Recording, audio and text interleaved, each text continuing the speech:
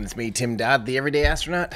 Good morning. We finally have another launch, and this one is uh, going to be really exciting. Hang on, I'm going to switch something real quick here to try and get that little clock going better. Sometimes it does this. There we go. 34 minutes until we have a Starlink launch, and that's really exciting because this is the uh, this is the second Starlink launch, but it's actually like the first of like truly operational Starlink.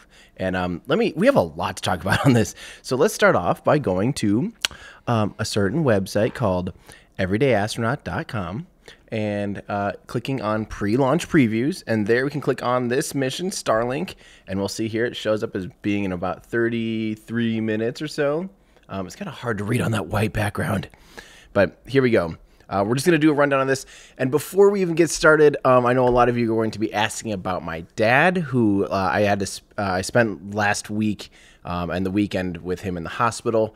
Uh, thank you so much for all of you who, who sent nice notes and said that your you know thoughts and prayers are with me and my family. That always means a lot. So thank you. He um he does have to have his artificial heart valve uh, got infected, basically, and will need immediate replacement. So I'm going to be kind of running around between here and Minnesota for the next, uh, for the probably the rest of the week or so. So uh, thank you so much to all of you uh, for your support. That really means a lot. Um, he's in literally some of the best hands in the entire world, though. So uh, we're all cheering for him. So go Russ, go Team Russ. If you guys uh, want to yeah, maybe hashtag Team Russ. I don't know.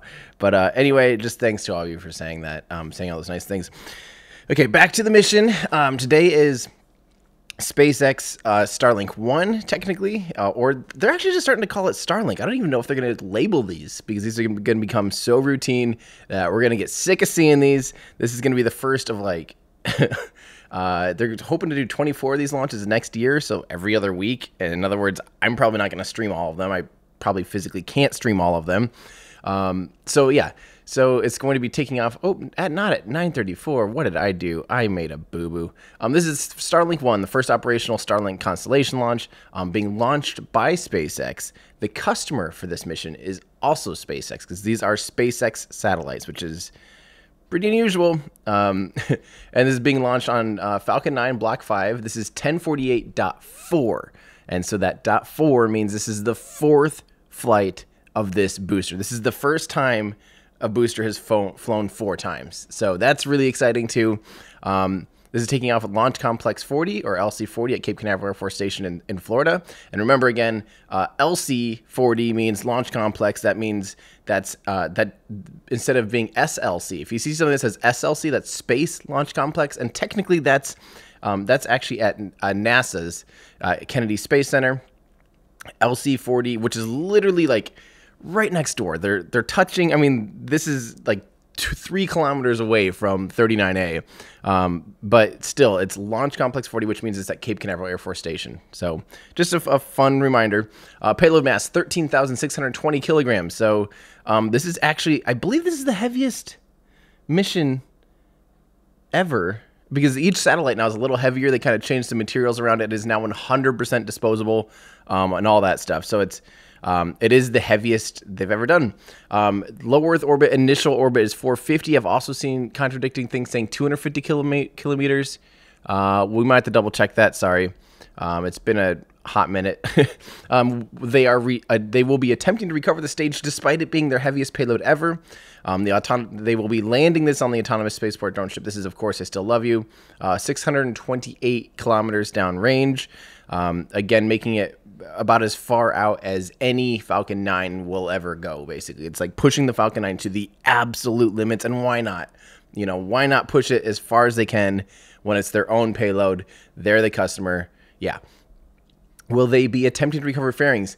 This actually changed this morning. No, no, they are not attempting to recover the fairings with with uh, Ms. Tree and and Ms. Chief. Wait, who is it nowadays? Uh, yeah, they they are no longer actually attempting to recover them. Uh, sounds like those boats actually may have had to turn around because of high seas and dangerous conditions. Um, so Whoops. Um, these fairings are not new though, so this is another thing that's pretty exciting. This is the um, Uh, sorry, the weight is wrong on this. I, I apologize. It's 18.5 tons. Man, I need. I just updated this yesterday, and we were, we got a bunch of stuff. Sorry, my life has been crazy lately. Um, I just got back into town last night, so some of these numbers are off. I will be updating those. Um, but this is the crazy thing: these fairings have flown before, and actually, Trevor Mahlmann had some pictures of the fairings. They even added a little watermark, a watermark. You know how like they have like the ISS donations, uh, denotions. What's the word when you know when they fly a, a, Dragon capsule to the International Space Station? They put a little. Um, they also do it now with boosters. Uh, how many times they've flown, or, or, do they even do that anymore?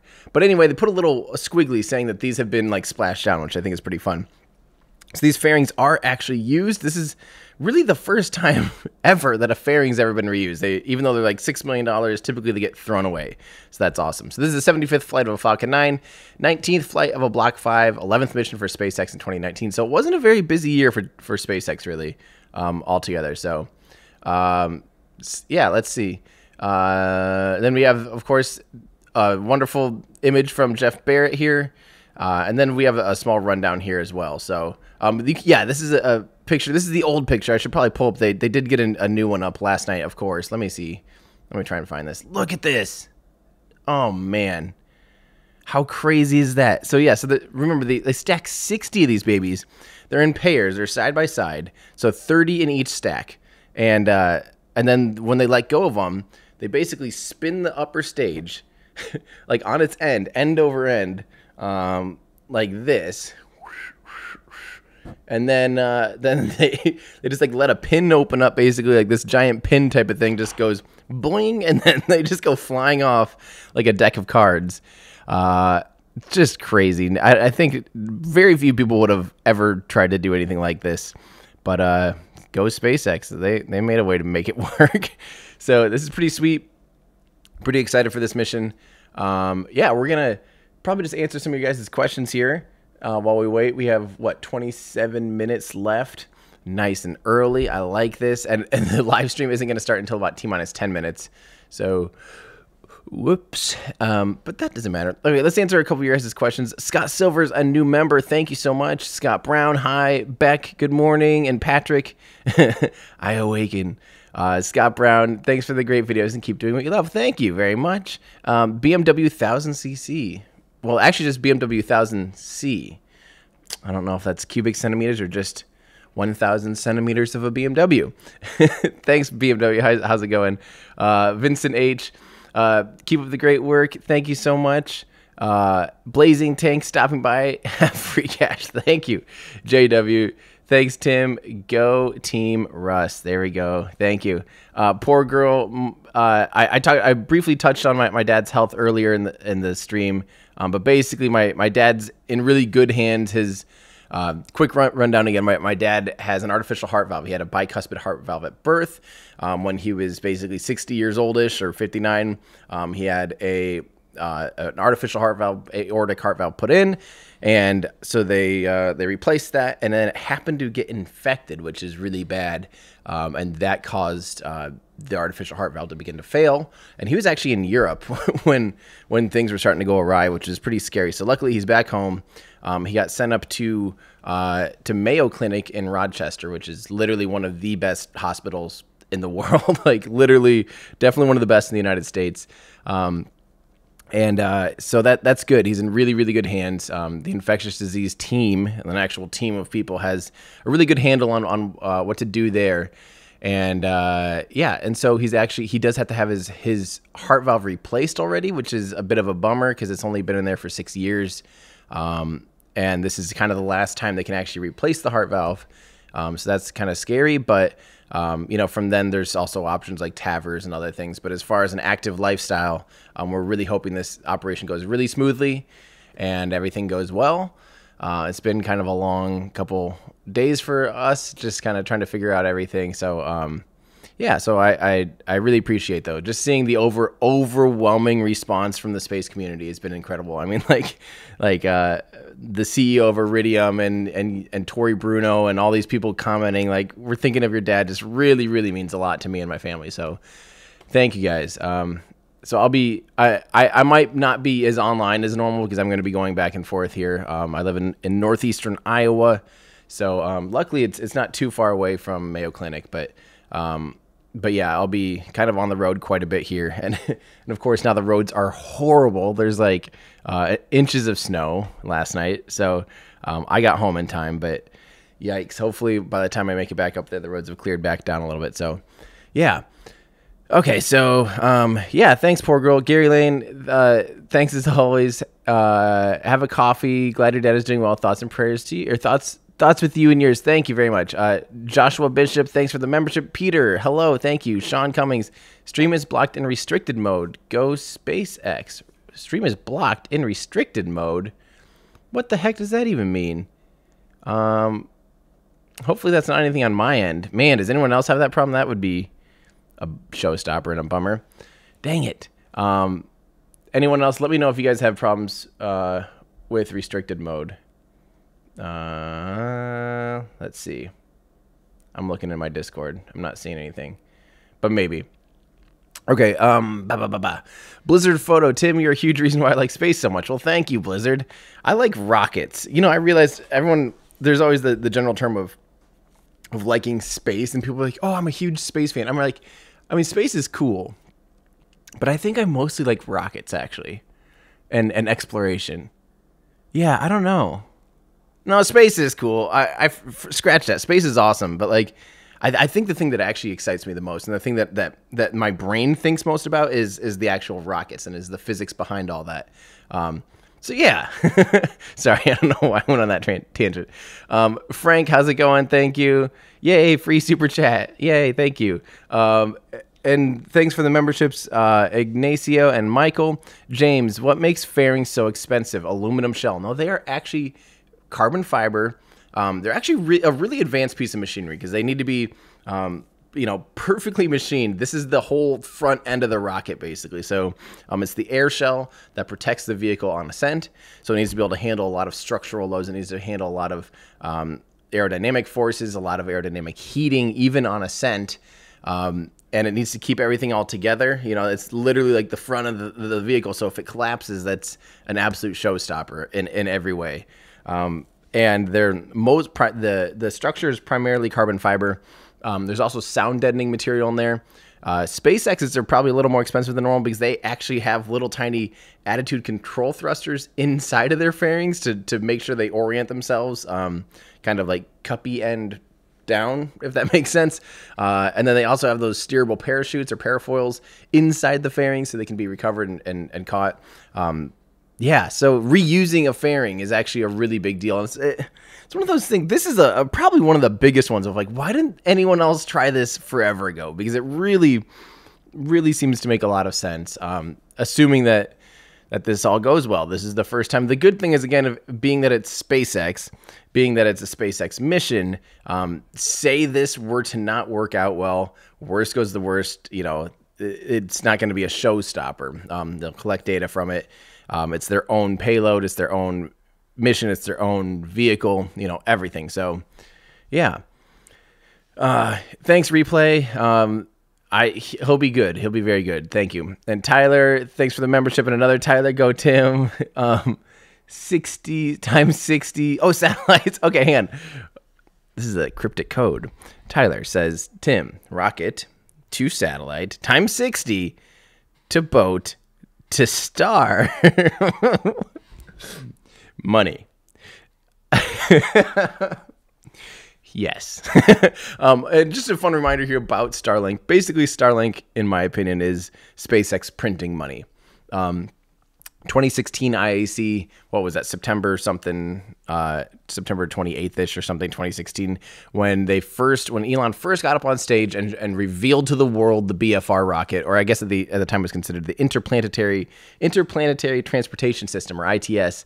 Um, one of the big question marks is, how do we fund this? You know, and, and, I guarantee at the time they already had Starlink well into development and had the idea and all that stuff figured out. So it's just funny to look back and be like, have him going like, how are we going to fund this? Starlink is how they're going to fund just about everything. So, uh, just ooh, SpaceX is live. Hold on here. We'll get the music just slightly in the background here. Sweet. I feel like it's been forever for some reason. All right, we're gonna do this. There we are. We're rolling smooth. Um, okay, and by the way, the, the size of these fairings, fairings are freaking huge. Like, here, I think the best way to, to do this is to look at, um, was to look at good old, uh, let's just look at media here.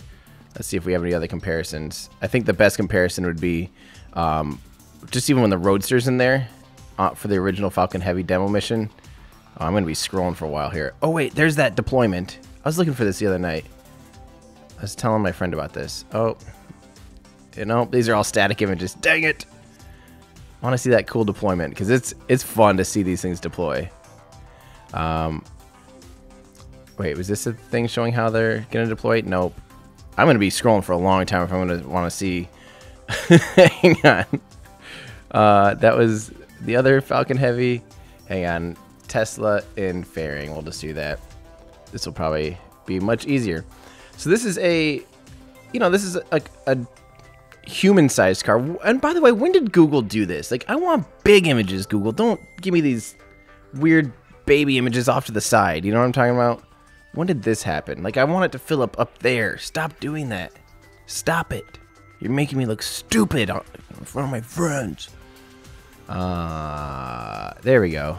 Yeah, so this is this is a normal car. Well, it's, it's a pretty small car actually. This is you know the Tesla Roadster. The original Tesla Roadster is based on a Lotus Elise, which is a very small, very small car. But it's not like it's like a shoe car. You know, this is a standard uh, Roadster sized, and uh, you know you can, can you can see here how insanely big it is compared to a fairing. So a fairing is huge. Here we go. Here's another picture of a fairing. Um, it's just it's a big, big old piece of stuff. Big piece of kit. So um, I don't know why that's not like loading. Looks like potatoes. So yeah, that's um, that's what a fairing actually looks like, and it's kind of just hard to remember how massive those things are and why they're so freaking expensive. So, um, let's see, 3D fix. Um, good question. That's all automated actually. Um, it should be linked. Discord links it to Patreon. Uh, there's like a bot, a script bot that will send it to your email or in integrate to your email. So make sure whatever email you used on on Patreon is the same one that you're trying to sign in or create an account with with Discord, and then they'll be smoothly integrated. Um, does anyone else have any advice on that in Discord? Because I'm actually totally hands off on that. That's and that's kind of the point is to be hands off so that a robot handles it instead of me trying to be like, okay, here's your permissions, you know. Um, yeah, let uh It's okay. Flo, we're okay, man. We'll we'll get. They'll tell us the exact weights. We'll be good. Um, yeah, there's also mission control audio. I think that's really interesting. Um, yeah. Okay, so Jason, let's see. Um, so let me know 3D Fix. I'll, I'll check my my Patreon messages today and and make sure that we get it figured out. But hopefully that integration works okay. Let me know if not, and I'll try to do something in the back end. Um, Jason Silva, what happens to the second stage after deployment? The second stage after deployment uh, ends up eventually doing a little reversal and deorbiting itself, and then it splashes down. Actually, they even show where it will splash down because that's actually also an exclusion zone for airplanes and shipping. Um, so uh, I, it typically splashes down, I believe, in the Indian Ocean. So and not splash down. Most of it won't make it back down to Earth at all. So it'll just burn it up on reentry, and that's that's what happens is, is they intentionally deorbit it. And again, that's pretty normal for any low Earth orbit mission is to deorbit space debris so we don't have stages just hanging out all willy nilly. Um, get it down out of there right away. So yeah, let's see. Hopefully that answers. I should do a mission about. Well, I, I am going to be talking about space debris in, in an upcoming video, hopefully before the end of the year. But at this pace, God, no. uh, Dre, thank you for the membership. Jeff Hurst, um, a few webcasts ago, my son Tom told you he had applied at SpaceX. On a later webcast, I told you he got the job this morning. He will be viewing launch in Hawthorne, just outside Mission Control. That is freaking awesome. Congrats, Jeff, uh, and congrats, Tom, really, for having a job and being right there in Mission Control as we speak. That is so cool. I love that that's actually happening. Um, I'll get to, back to the guys, uh, Sumit and Colby. Um, thank you guys. Um, I'll get guys back to you guys in a second, but I want to listen in here because we, we always catch a lot of fun, juicy little details here um, when the presenters come on and, and, and tell us all the facts. And we'll get the facts straight about the weights and all those things too. So um, let's listen in. You are looking at a live view of the Falcon 9 as it awaits its targeted 9.56 a.m. Eastern Time launch from Cape Canaveral Air Force Station in Florida. Good morning. It's November 11th here at SpaceX headquarters in Hawthorne, California. My name is Lauren Lyons, and I'm an engineer on the Starlink team here at SpaceX. In honor of Veterans Day, we would like to take a moment to express our deepest gratitude to all our veterans at SpaceX and to those across the country who have served. Thank you for all that you've done and all that you continue to do. Every launch is an exciting launch, but today's launch represents some particularly notable milestones for SpaceX. First, today's launch will be the first time we're reflying a Falcon 9 booster for the fourth time. This booster previously flew on Iridium 7, Saocom 1A, and PSN 6. Following today's flight, we'll be attempting to recover it for a fourth time on our drone ship, Of Course I Still Love You, out in the Atlantic Ocean. Second, this is the first time we'll be flying a recovered fairing. This fairing previously flew on the Falcon Heavy Arabsat mission earlier this year. And last but not least, of course, we'll be launching another 60 Starlink satellites to orbit. These 60 new satellites will make Starlink one of, if not the largest star satellite constellation to date. We'll talk more about these new satellites later on in the webcast. Lots of exciting stuff going on for today's mission, but let's take a closer look at Falcon 9 on the pad. Right now, we are looking at a live view of Falcon 9, our 70 meter two stage liquid fueled launch vehicle. The bottom two thirds of the vehicle is the first stage, and this is what accelerates the vehicle through the Earth's atmosphere to the edge of space with the help of nine Merlin engines. Today we're going to be flying this first stage for a fourth time and also attempting its fourth recovery on our drone ship, Of Course I Still Love You, which is currently stationed about 340 nautical miles northeast of the Cape off the coast of Charleston, South Carolina.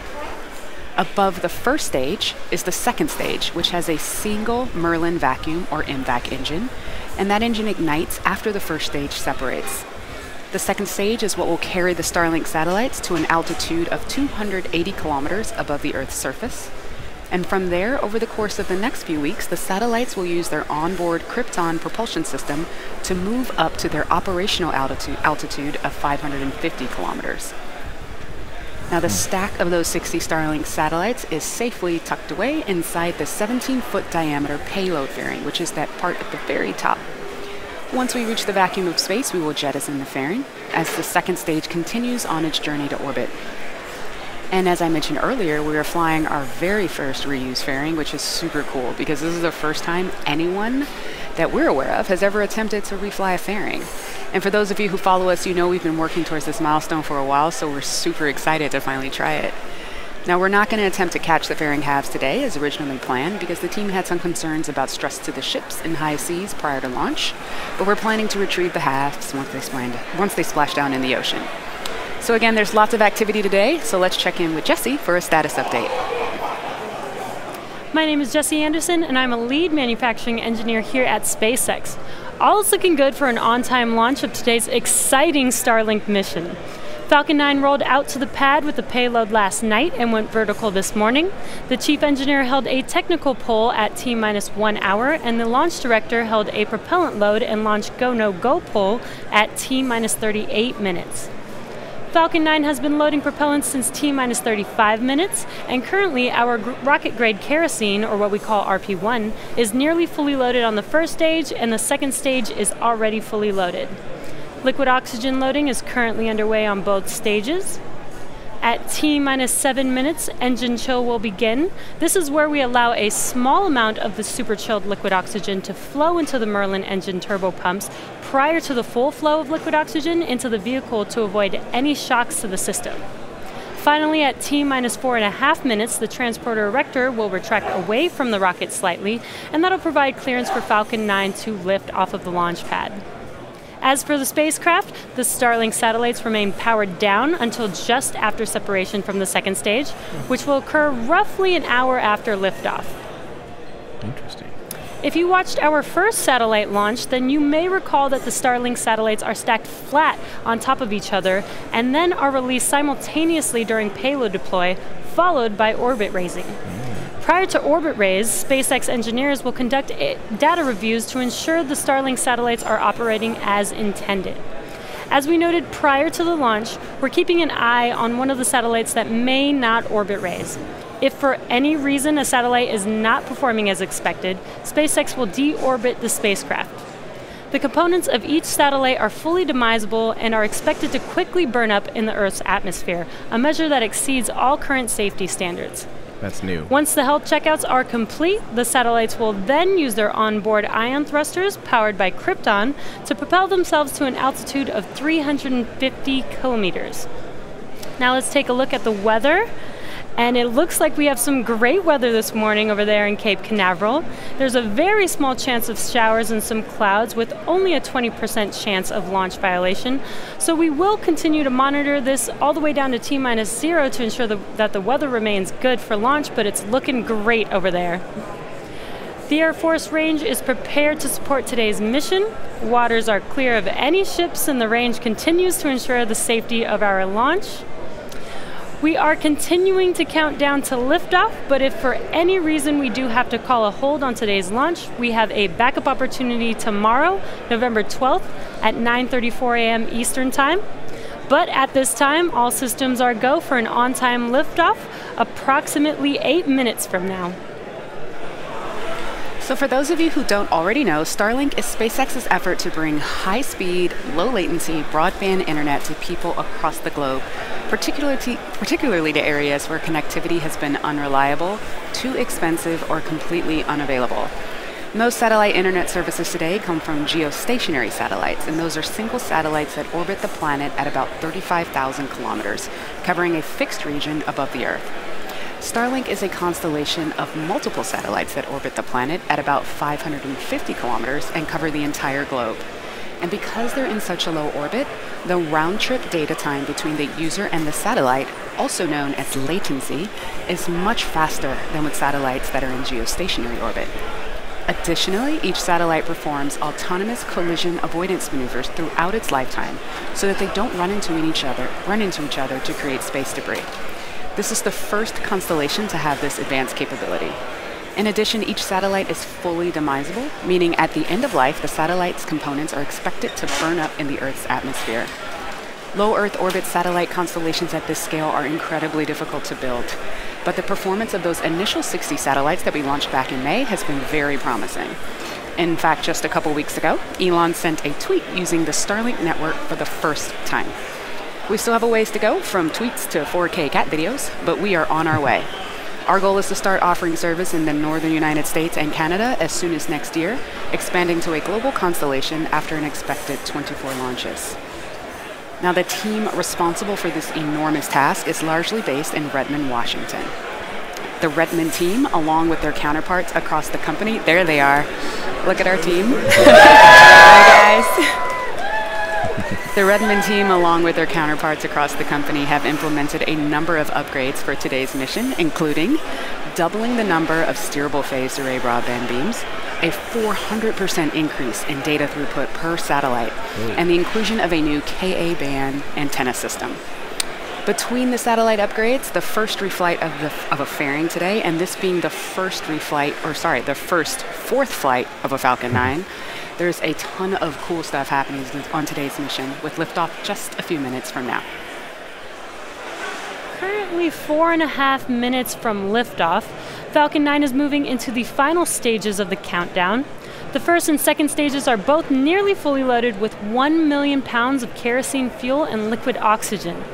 First stage should finish propellant loading at T minus 3 minutes and second stage at T minus 2 minutes. At T minus 60 seconds, be sure to listen in to the call out for Falcon 9 in startup.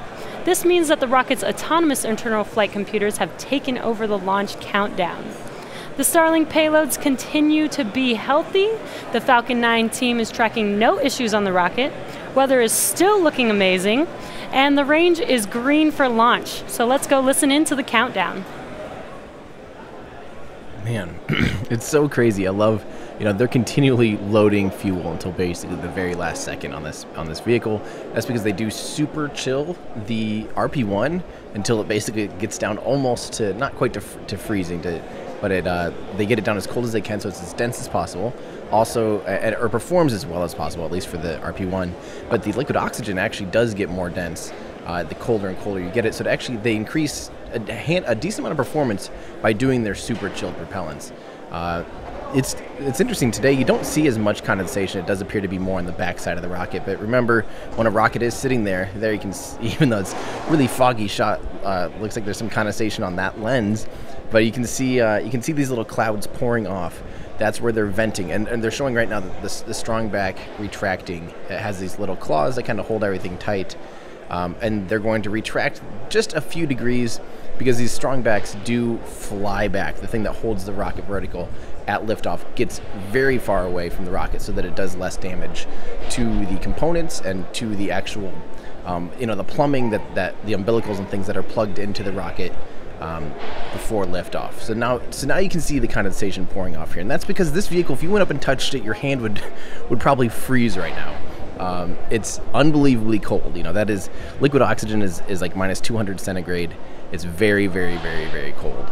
Um, and so obviously that makes the aluminum skin very cold and then when air comes in contact with that very cold just like sometimes when you open your freezer you might notice some condensation um, you know little clouds pouring out or uh, dry ice and things like that. You'll notice those little that little fog.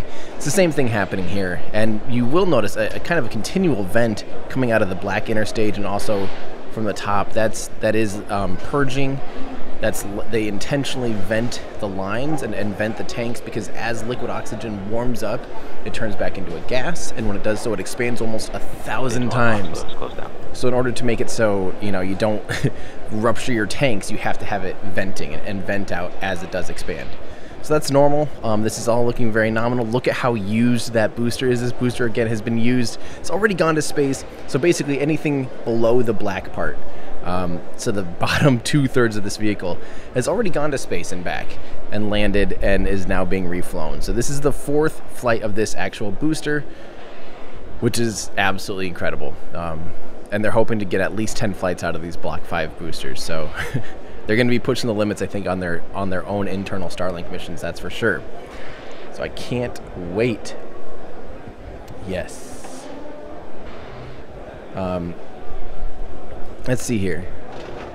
Uh, okay, uh, let's see. Oh yeah, so again, congrats to Jeff and Tom. Mostly Tom for getting a job, but Jeff for having a son that works at SpaceX. That's awesome. Uh, Colby, hi Tim. Thanks Colby for saying hi.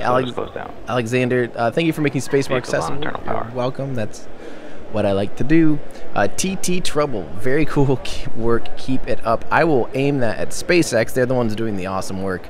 Um, I'm just here to help try to answer your guys' questions and put some things into context because some of this stuff can be very confusing. So the vehicle is totally closed off now, and you'll see um, that it is now, they're venting the lines and things that were um, used to fill the, the rocket a second ago, just making sure that it's all purging appropriately. So you do see a big extra cloud of of, uh, of oxygen there, which is cool. I wonder what it'd be like to breathe that in, besides very, very, very cold and would literally burn your skin from being so cold. You'd get like instant, uh, what's that called? Falcon 9 is in startup. Oh, baby. Startup mode. Here we go. I love it. Okay, so uh, Kenny K, thank you so much. Uh, Master Maze Productions, hello from Toronto. Nerding out about space and science has been my dad and my favorite thing, bonding thing to do for years. And today he'll be watching the launch. is go for launch. From your parents' hotel in Florida. That's awesome. Well, I hope your dad has fun seeing a, a, a rocket launch. They're really fun in person. I need to do an updated version on where to where to watch launches from in Florida, 30 seconds, uh, Texas, and and also in uh, in California, and eventually all the launch major launch sites around the world. I need to do a, a, another guide to all those. But yes, if you haven't ever seen a launch, in person, you definitely need to. There's something incredible about it, especially if you happen to catch a launch that does come back and return to launch site landing. Ten. That's nine, amazing. Okay, let's let's eight, listen in here. Seven, six, five, four, three, two, one, zero. Ignition. Liftoff with There we gratitude to our veterans today and always. Go USA! Okay, let's see if this fairing holds up. Oh yeah, Happy Veterans Day. Falcon 9 is pitching downrange.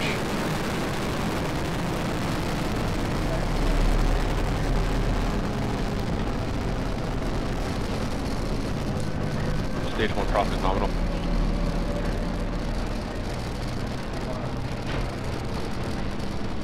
All right.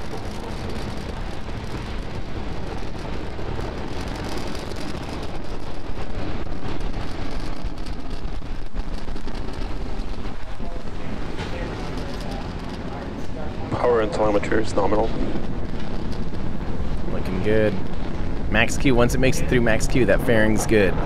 Then the we pressure are on T gets. plus 55 seconds into launch, and we've had a on-time liftoff and a beautiful view of the Falcon 9 vehicle making its way to orbit.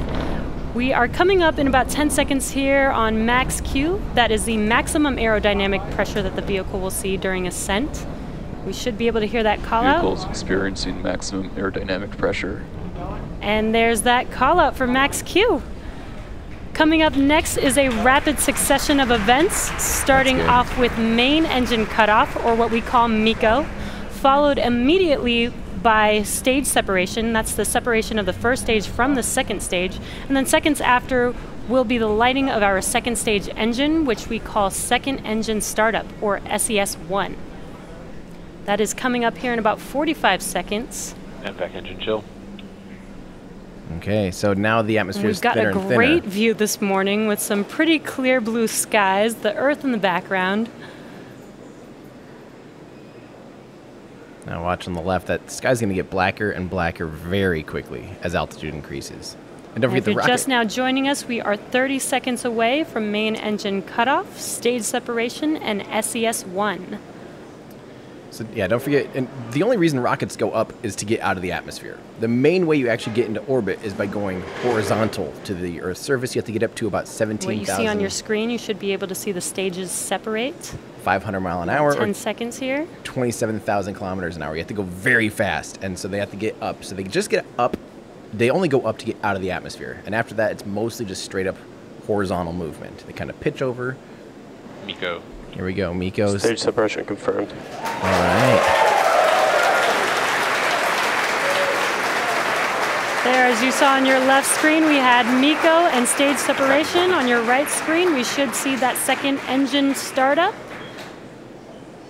Now watch this niobium nozzle will start glowing red because it just radiates And there's heat that away. second stage engine glowing bright red. That's just the Coming up next in about 30 Sorry. seconds is fairing deployment. Now, a reminder: this is this fairing is being flown for a second time, which is a first in SpaceX history. And what you can see on your screen on the left screen, those grid fins have been deployed. Let's see it, baby. And there is our fairing Fairing deployment. confirmed. This is the first reflight of our fairing, so such an exciting mission this morning already. That's awesome. That's a big deal. That's about a six million dollar savings right there. Five or six million dollars. Something definitely definitely worth trying to trying to reuse. As the second stage continues to orbit with those 60 Starlink satellites on top, stage one is making its way home for the fourth time. That's The crazy. stage one is going to execute two burns before hopefully it's standing there on our drone ship. The first one will be the entry burn, which occurs at about T plus six minutes and 23 seconds, so a little over two minutes from now. That's where we're going to relight three of those Merlin engines and slow the vehicle down such that it can safely re-enter the atmosphere. From there, the booster will coast for just under a minute and a half and then execute what is called the landing burn. That is where we're going to reignite this, a single engine, that E9 engine right in the middle of the booster, slowing the vehicle down to zero velocity, hopefully standing right there up on the drone ship. Meanwhile, stage two continues to fly nominally. We're hearing that MVAC D power is nominal and continues at full power. Stage two pressures, the tank pressures are nominal as well. First and second stage are on a nominal trajectory. Sweet.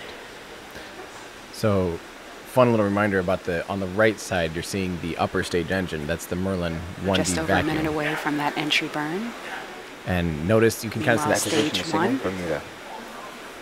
Meanwhile, stage one continues to make its way down. Hang on, I'm just gonna do this so I don't talk over somebody. Um, so you- you'll notice that little like snail-looking thing, kind of uh, right before the nozzle gets uh, kind of red and gray, uh, like a shiny-looking snaily thing that wraps around it. That's where they pump in the turbo pump uh, exhaust. So th- there's the pre or not the pre burner. There's the gas generator exhaust, and that's actually cooler than the exhaust coming out of the combustion engine, the main engine. And so they actually pipe that that relatively cool, although it's still really really hot. They actually pipe that into the the nozzle, and I talk about that in that video about aerospike engines and how you can cool um, rockets and rocket parts. But you can actually see how that's that's considered film cooling and they use film cooling from the gas generator to make sure that nozzle doesn't melt. But then it's also made, of, made out of niobium which has a really high melting point and it just radiates the heat away. So here we go we're coming up on on entry burn man that's still so cool so you're ready on Stage the one left entry there we burn. go And as you see, that entry burn has begun.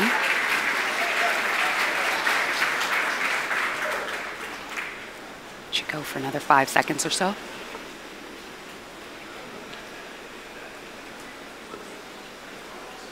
Stage one entry burn shutdown. i love watching it And as you just heard, itself we now had a successful shutdown of that entry burn. So for about another minute and a half, stage one is going to coast, making its way down to the drone ship. And at T First and plus, second stage continue to follow a nominal trajectory. Now you'll see that's pretty normal. It will cut out in quite just a under bit. a minute, that landing burn should start. I love watching the first stage actually enter and using the grid fins to steer it and point it at the drone ship or the landing pad, depending on where it's landing. Man, they just have it nailed down so well now. Stage one transonic. So it already is going subsonic already as it's transitioning from supersonic to subsonic. So there'd be a sonic boom coming up here. Everything continues to be nominal on stage two. And in just under 10 seconds, that landing burn should start. Hopefully we'll get some nice on-vehicle video. Let's see if they're able to pull up. Stage feed one in. landing burn. We don't have that video just yet, but that landing burn has started. Second stage has entered terminal guidance. Stage one landing leg deploy. It looks like we're not going to get video on the way down. Oh, but we have the drone ship. And wow, the Falcon has landed for the best fourth video. time. That was the best video they've ever had. Amazing. These boosters are designed to be used 10 times. Let's turn it around for a fifth, guys. Wow. Right on the freaking bullseye. Wow. Fourth landing. That is super cool. So stage two, I believe, uh, we have had green. SECO one. Um, we're gonna Liquid enter a coast phase. Um, so to, before we do that, we're gonna take a quick break. Sorry, it's very exciting over here. and, uh, as we leave, we're gonna have an animation that shows you where we are in the coast phase. But we're gonna be back here at T plus 44 minutes. All right, we'll be back at T plus 44 minutes for a second stage relight, followed up by payload deploy. So come on back. I think the world's ending over here for me. Um, yes. Okay, so uh, let's maybe do a little recap. So that that was I I cannot. Okay, this is a great feed actually right here. So you can see all the work. Hang on, let me go a little me again. Uh, you can see how much work the first stage did. That's all the first stage actually does. So in other words, if the second stage didn't light, guess what? The second stage would go right there too.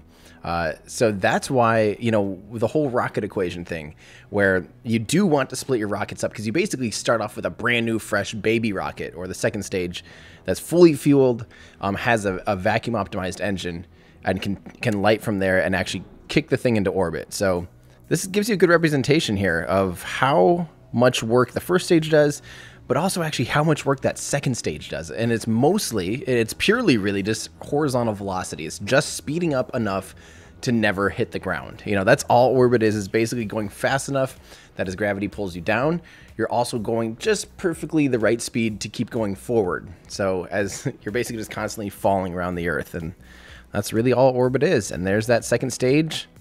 Look how fast it's going. Can you imagine being on that thing? Wow but I loved we actually got to see the the landing burn. We actually saw it from the drone ship. Normally that doesn't happen. You know, normally we have those downlink problems. They have been working really hard on some solutions.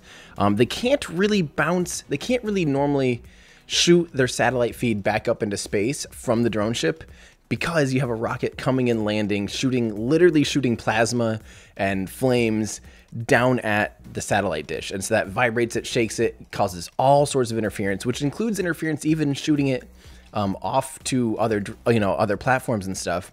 And there's been talk of using like different Omni dishes and bouncing those signals literally off the ocean, being collected by uh, by the support boat. The problem is the support boat's like 16 kilometers away or 10 miles away to be in the safe zone.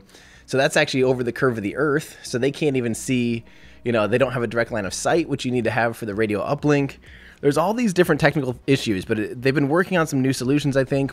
And today we just got that's I think that's the first time we've really just seen without any significant cut a straight up landing, which is just awesome. So congrats SpaceX team for that. That is awesome. Uh, yeah. So now we're just coasted. Now we just get to hang out. Um, yeah. Uh, would uh, Chad wants to know if Newfoundland would see stage two now in the right lighting conditions? Yes. If it's if it's lit up if it's burning, sometimes you can see it. Not most of the time, not during the day though. If it's night and it's still lighting, yes, um, the East Coast probably could have seen the upper stage fly. And then if it's dark and if it's dark on the ground but bright, you know, like say the sun just set 30 minutes ago or something, lots of times you might see a glimmer from like this the second stage if you were looking in the right area. Yeah.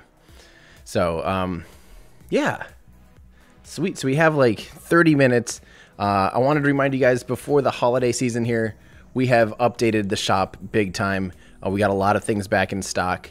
Um, yeah, so Starman hoodie unfortunately is sold out, and I probably just need to remove it from the store because it is like gone for probably ever. Uh, don't forget on the web store we do have free domestic shipping on orders over $100 and discounted international shipping on orders over 100 because I know how expensive that international shipping is. I actually lose money on international shipping uh, on orders over 100 because it's it's just so expensive, and I don't know what we can do better, but we're trying. But we do have restock on the Aerospike engine. The full flow shirt is finally back in stock, um, and back in stock for good. Um, I believe the Aerospike. If the Aerospike isn't isn't in today, oh, it is. Okay. Oh, okay. I, we're literally putting it in like this week. So if you want the Aerospike engine, um, sure, it will be back in stock like any day. Uh, the prints were just finishing up because we do runs on prints, um, but we are stocked up on the F1 shirt. We even are, believe it or not, we do have our last run of Grid Fanatic coasters that I'll be putting up in the shop um, this week as well. So um, yeah, so we're trying to stay on top of things. I think there's still also a few more. I did a, f- a limited run of signed edition of, of some pictures. The other version sold out right away, the other Starhopper one. But I did hand sign some of these, so this could be a, a fun gift for the holidays if you guys want. Um, everydayastronaut.com slash shop. And don't forget, guys, I do have the rapid unscheduled uh, discount section now. Looks like most stuff might be sold out. But um, I'll, I'll, probably pack a few more things in there for um, for Black Friday. That's coming up soon already. Um, but we'll, we just kind of clear up old inventory in there. So, you know, grab some of this stuff while it's still in there. And of course, if you are in the aerospace industry, you can take 25% off anything in the apparel here that's that's not sold out, which I think we're doing okay on stock on most of the stuff. Anyway, um, if you work in the aerospace industry, click here. You put your email in, your your work email, it'll shoot you an email back. So don't try making up an email. I see people being like Elon Musk at SpaceX.com, and then like it'll shoot me a thing, and I just laugh and go, "You guys, that's not how this works. Like you have to have that email yourself. You know, Elon Musk at SpaceX.com." Yeah, like I'm just gonna be like, "Oh, it looks like that's an approved email. Here you go." this is as a thank you for those of you that do work in the aerospace industry. Um, I just want to thank you for what you do. You inspire me to do what I do. You teach me what I know. Like I've learned everything just because of the aerospace industry. Um, so yeah, so if you work in the aerospace industry, most domains are approved, like uh, .gov domains um, and things like that too, or at least you know NASA.gov um, and a few other you know obviously like Boeing and ULA and Rocket Lab and and Northrop Grumman. A lot of these aerospace companies we do have approved. There's a few obscure ones out there, um, but yeah, that, that's again just as my thank you to you. Yeah, so there we go. Let's answer a few more of you guys' questions. Um, Chris, I, I, I sorry, I don't want to make this a, a show. I want to stick to aerospace, but I do really appreciate the thoughts for my dad. He's doing well. He will have surgery this week. Hopefully, um, I talked a lot about it earlier in the show, so we might have to go back and watch that. But thank you, Chris. Um, he'll do good. He'll be good.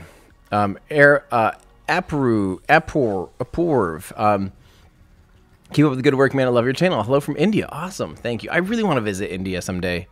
I really do. I would love to see ISRO. So if you work for the for ISRO and can help me get a cool tour, I would love to do that because I want to do a video all about ISRO and why they're probably going to be, you know, catching up if not succeeding and being definitely one of the major. They're already kind of one of the major space players, but they're catching up really, really quickly. Um, so if you work it for for ISRO and want uh, and have the ability to give me some access to some cool things, I would love to come out and check it out and do a really in depth rundown. Um, yeah, that'd be so cool. Uh, Bailey, thank you for your devotion and con- continually inspiring all of us through your attention to detail and passion about space. Well, thank you, Bailey. Kind of can't help it. How how can you not be excited about this stuff? Um, I mean, we just watched a, a, rocket fly for the fourth time. That a, a, a, giant piece of rocket, 15 stories tall, that's normally just discarded. You know, $20 million piece of hardware. Flew for the fourth time. We just saw fairings that cost about $6 million. They can fit a school bus inside them that is made entirely out of carbon fiber and all these expensive materials that normally cost five or six million dollars. We just saw those be reused. I mean, how are we not living? And now we're going to watch 60 freaking satellites deploy out of like 12,000 or 40,000 or whatever the new number is. It keeps changing to provide global internet for anyone around the world. I mean, we are living in extremely exciting times, just plain bonkers. So thank you, Bailey. Um, Jason, thank you so much for the membership. Evan, pointing hand up, flaming hand down, hashtag Team Russ. Happy Veterans Day. Thank you. I know my dad will appreciate that. I, I think they're, my parents are watching right now. So, uh, yeah, Team Russ. Um, well, thank you very much, ETQ, with the longest. I hope that's not your password to something. I hope you didn't accidentally mix up your password and your username because that's really funny. But thank you very much. Um, Cracks or 85, thank you. Uh, let's see, uh, Drew Mishra, thank you so much. And Cracks again, thank you very much. Cracks again, 109876543321. Love your channel, Tim. Thank you so much. Um, so I'm trying to keep up with you guys. Sometimes it does that thing where it just gets out of order. Come on. Night Fox. Thanks for everything you do, Tim. Best wishes uh, for your dad from Japan. Uh, that's uh, the other place. I really want to. Maybe I'll do both of those. Maybe I'll do India and Japan in the same trip because I'll probably end up having to do a layover in, you know, Tokyo or Beijing or somewhere in Eastern Asia in order to get over to India. Um, Seoul. I feel like every time I go to Asia, I, I fly into Seoul, like almost no matter what. But anyway, back to Japan. Uh, yeah, I would love to. Uh, I would love to visit Japan too, and, and check out the the uh, the launch complex there and everything the Mitsubishi rockets, and that'd be awesome. It looks like a really pretty launch site. Hernan, how's it going? Thank you so much. I appreciate the flying pair. uh, Jeffrey Tripp uh, got permission to ditch out of class 10 minutes early to watch the launch. Hope your father's all good. That is awesome, Jeffrey. You have a cool teacher. That's great. Uh, Craig C. Instructions unclear. Tongue stuck to rocket do not lick a rocket while it's fully fueled. Again, it is unbelievably cold and it would be a very bad idea. Oh yeah, um, it's probably not quite dark yet, but dang it, if it, if it was about two or three hours later, right now, if you lived in Dublin or coming up on London, uh, you'd likely see, you might actually see a glimmer of the upper stage. And actually, coming up here, hey, those of you in, in Austria and stuff, Flo and all you other guys in, in, in kind of uh, middle of Europe there, get ready. You actually might be able to, if it's a clear night, step outside and look northwest. Or wait, maybe just straight north for you. You might actually see this baby fly by because it's getting, that's kind of right where it's going to be dusk and it would still be illuminated by the sun. Do it. It's too foggy. Dang it. All right. Well, if you live in, if you live over there, step outside for me. Let me know if you see it. That's awesome. Okay. Um, so uh, El Elmar, uh, basically an RP1 slushy with LOX Chaser. yeah, that's uh, exactly right. That's that'd be an awesome drink. Oh, not really. Don't drink that. Don't drink RP1, guys. Oh God, why did I say that? Okay, that'd be a fun, interesting themed drink. Do not drink RP1. I mean, you can have LOX. Only you'll not have a. You probably wouldn't have a whole face if you tried to drink LOX because it'd be so cold, it'd shatter your face. So don't do that either. God, giving horrible advice this morning. Um, Summit says, Tim, this is much better than Aerospike. I don't know. I mean, Aerospikes are cool, but yeah, they're not cool enough. Or literally, they're not cool enough. They get really hot and they have to make a lot of compromises to not make it melt. Oh, thank you so much. Um, I really wish I could say your name, but thank you. Um, Kochkitin? I'm sorry. I have no idea. Um, Dylan, uh, will we get less of these breakups with Starlink? we might get different uplink abilities, but the ability to uplink is still the hard part because it's actually the satellite dish that gets shaken. But maybe they'll have other solutions once Starlink is out. Like maybe it will make sense to have a closer autonomous drone ship or something. I don't know. Who knows? But remember, any of these solutions, you guys, you know, when people would complain, why don't they just make a buoy and a system and all these and a drone uplink? All of this would be to have like five seconds of an uninterrupted video. And what value does that have to SpaceX? Nothing, because all that stuff is locally filmed. So they have video footage of it themselves and they have the data to be able to know when the vehicle lands. So having a video of it is just completely secondary and ancillary and quite quite frankly 100% unnecessary. That's only for our pleasure. So they should not spend anything more than about $20 for our viewing pleasure, right? You know, that keep that in mind. Of the grand scheme of things, that little 5 second interruption that we sometimes have and didn't have today, uh, is that worth them putting anything more than a, couple thousand dollars into? You know, uh, they've had options of planes and stuff like that, but that's you know we're talking half a million dollars or a million dollars or several a non. You might as well hire some engineers for five years instead of trying to get those five seconds of video back. Um, just just keep that in mind. But it looks like they have a pretty good solution now, so hopefully it just gets better and better. Um, that landing was beautiful. That was really, really epic, actually. Um, Sumit, thank you again for the flying pair. Becoming a pretty big fan of that. Um, Sumit, what about the fairing? I feel like we talked a decent amount about the fairing. Um, I hope I answered your questions. It, is it is still going to splash down, and hopefully they'll maybe be able to retrieve them. But I wouldn't be surprised if this time they don't even attempt to retrieve them, since since the two fairing recovery ships are gone. Um, we also need to talk about they they did mention that one of the satellites was defunct already, or likely not going to work.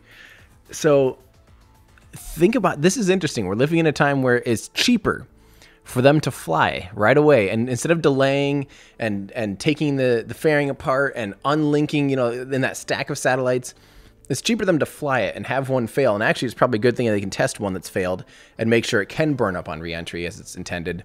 But it's it's cheaper for them to do that than it is to unstack it and and, and fix the satellite. So that's the scale of economy they're working with um, or the economies of scale so these satellites must be, you know, relatively inexpensive. Pretty crazy that they can just be like, you know, this one's broken, but eh, whatever. It's gonna be one of thousands, you know. So um, don't forget, every time one of these launches, and they're hoping to launch 24 of these missions next year with 60 satellites in each of them. That's crazy. Yeah, and they're just gonna keep improving these satellites over and over and over, and making the constellation more and more powerful until you can be anywhere on the globe, basically, and have legit streaming abilities and even gaming abilities because that's the thing is latency becomes a big issue um, especially geostationary orbit, you start to get into the hundreds of seconds of ping, like 200, 300, 400, 500 ping milliseconds. sorry, milliseconds of ping. I don't remember exactly um, how bad it is for geostationary orbit, but I believe it's somewhere like uh, you know four or 500 milliseconds, and that is way too long of latency to do things like online gaming. So having a low Earth orbit internet constellation will allow you to even do things like internet gaming, you know, uh, or online game. I shouldn't say internet gaming. Inter- using the internet games, uh, no online gaming, so you'd still be able to do. You know, you could sit there and play. I don't know, Call of Duty or something on an airplane. That'd be pretty awesome. Uh, Kerbal 2 online when it's multiplayer. I could be on an airplane on an international flight and be playing online, which, I mean, that's insane. Um, I think in about five years that'll be totally normal. I think even in about two years it'll become more available. But you would it would need to have a receiver on the plane. It's not going to be something that's you know usable for our devices locally.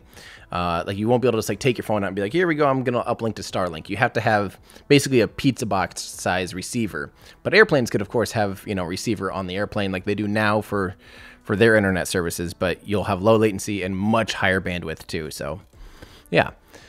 Um, Alan McDonald, thank you so much. Felix, um, Tim, the second stage view shows two curvatures. Why? So there's there's two different cameras. They're basically 180 degrees from each other. Um, let's see here. And they're 100. So like, let's say one's on the side with the with the handle. The other one would be over here. And those cameras are very fisheye. They're they're not um, rectilinear. They they do not keep lines straight. So even a curved line, so so if it's right down the middle, uh, anything in the very center of that frame uh, would be straight. Anything above that will start to curve this way. Anything below that line will curve the other way. So if you have a curved line like the curve of the Earth, then even if it's right down, down the middle of the frame, that'll show a little bit curved. But as say the say you know the stage is pointed down a little bit, and that is into the frame that, it'll curve a lot. It, it, can, curve like what will look like a huge arc, even if it's uh, not to the point where you'd actually see the full arc.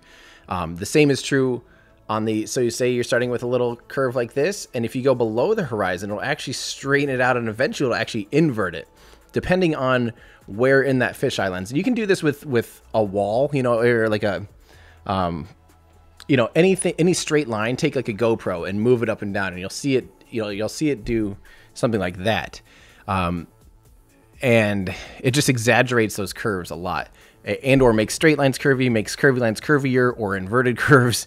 Uh, so if it would be interesting to get an extremely wide angle rectilinear lens up there, um, that'd be pretty cool. Yeah. Um, the deploy is at T plus 45, so we're still about 15, mm, 18 minutes 17 minutes away from that. So, yeah.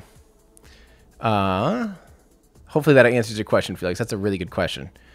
Um, Braden, thank you so much. Chris, when will the gold aerospike shirts be shipped? Those should have been shipped a while ago. Um, Chris, are you, if you're in the U.S., I, th- I think most people have gotten theirs already. I'll double check with the shop. That seems way too late. Um, hmm. They should have definitely been shipped. Let me follow up my, with my shop today. Um, Ryan, good connection because of Starlink connection. Not yet, unfortunately. I wish. Maybe soon. One option that'd be cool with Starlink is if a couple of them, say, uh, you know, I don't know, a handful of them would have cameras on them. They could put just, it wouldn't even take much of a camera, um, just something with a pretty healthy telephoto lens. They could potentially track and get an upper stage shot or a shot of the rocket actually ascending into space. How freaking awesome will that be? Um, especially like imagine seeing stage separation and stuff like that from a Starlink constellation. Oh, that will be awesome. So uh, that that could be you know these could be kind of a test bed. They could put um, additional instruments on these Starlink satellites, and tracking cameras from space could be an option. So that would be amazing. Imagine watching the first Starlink or Starship launch, seeing stage separation and reentry and stuff like that from Starlink satellites. Please make that happen, please. Um, Ross H23, keep up the great work. Always watching your videos. Thank you so much. I have a video coming out this week, hopefully. Um, and then I'm working on like th- probably three more videos to try to end out the year. Um, but I'm also hoping to go down for the Boeing um, OFT one, the first test launch of Starliner, test flight of Starliner. I'm also going to watch the first Starship launch, whenever that is. It sounds like they still need to do you know cryo proofing of Starship. They also need to uh, you know probably install the three Raptors and get all the additional hardware. Maybe still this year. It might be like a New Year's Eve thing or something. Who knows? Um, yeah, hopefully, hopefully that happens really soon. Um, I'm also going to be again probably up and down between here and and where my dad is in the hospital. Um, but then I might be going to see, depending on if I get an invite, Tesla to go see the Tesla truck. I really want to see that unveiling. That will be crazy. Um, so it's going to be a busy rest of the year here for me, but I, I, have a lot of work that I need to be doing. Luckily, a lot of it is scripting and researching, which I can do from anywhere. So um, anywhere with a decent internet connection. So yeah, um, yay. Okay, let's keep reading your guys' stuff here. Um, let's see. Do, do, do, do, do, do, do, do. Um, thank you so much, Zane, for saying hi and for watching the streams. Uh, Thomas, that booster went to space more times than most of the astronauts. That's that's very true. Thanks for the amazing coverage, Tim. You're welcome, Thomas. That's super true. That's I never even thought about that. Um, who is, as far as number of times going to space, who is the most flown astronaut? Discord, get on it. um, Steve, thank you very much. Um, Atticus English, that's an awesome name. Appreciate the knowledge. You're welcome. Uh, Michael, how's it going? Michael Burke. Uh, step two of the real, real World Wide Web: internet anywhere to everywhere, anytime. That is true. This is this is like actual World Wide Web. This is truly www. Um, I'm still waiting. I'm sure my Discord channel will have that figured out. Oh yeah, if you want to join our Discord channel, we have an incredible community, and I, I, I don't say that lightly. I'm not saying that as some at all sales pitch or anything. This community has been incredible, and they've helped me emotionally a lot. I, I kind of get traumatized sometimes by like internet bullying, so they're always there to like support me and be like, "Tim, it's okay, you're okay." like, uh, I know it sounds weird, but there's a lot of creators that kind of suffer from like mental health of of negative comments and even things that aren't negative that come off as negative that that have strange extra hard effects on on people that that read comments because I, I do think it's important to be able to read comments and, and read feedback and try and make a better video and learn something every time but yikes guys just remember when you make a comment that someone else is reading it almost no matter what and remember that they might not realize the tone so just make sure you're extra friendly even if you're giving positive feedback or even if you're giving um, critiques to things you know and, and correcting that's good like we, we want to be pedantic and we want to be accurate but um, don't say things like "you idiot," blah blah blah blah, or blah blah blah. Just be like, "Hey, I noticed that you you mentioned this, but perhaps it's this." You know, something friendly. Um, here's a link. You know, like when people are just factual, it's great. But when you're like, "I can't believe you forgot this," like, don't say that. That stuff just really that really hurts creators that will spend months on a video to have someone be like, I can't believe you're dumb enough to think. I had so many people commenting, yes, I know that hot water and cold water equals medium water, but for some reason, I had never thought about it. Uh, this hit me about three years ago with the heating thing. For some reason, I had never considered.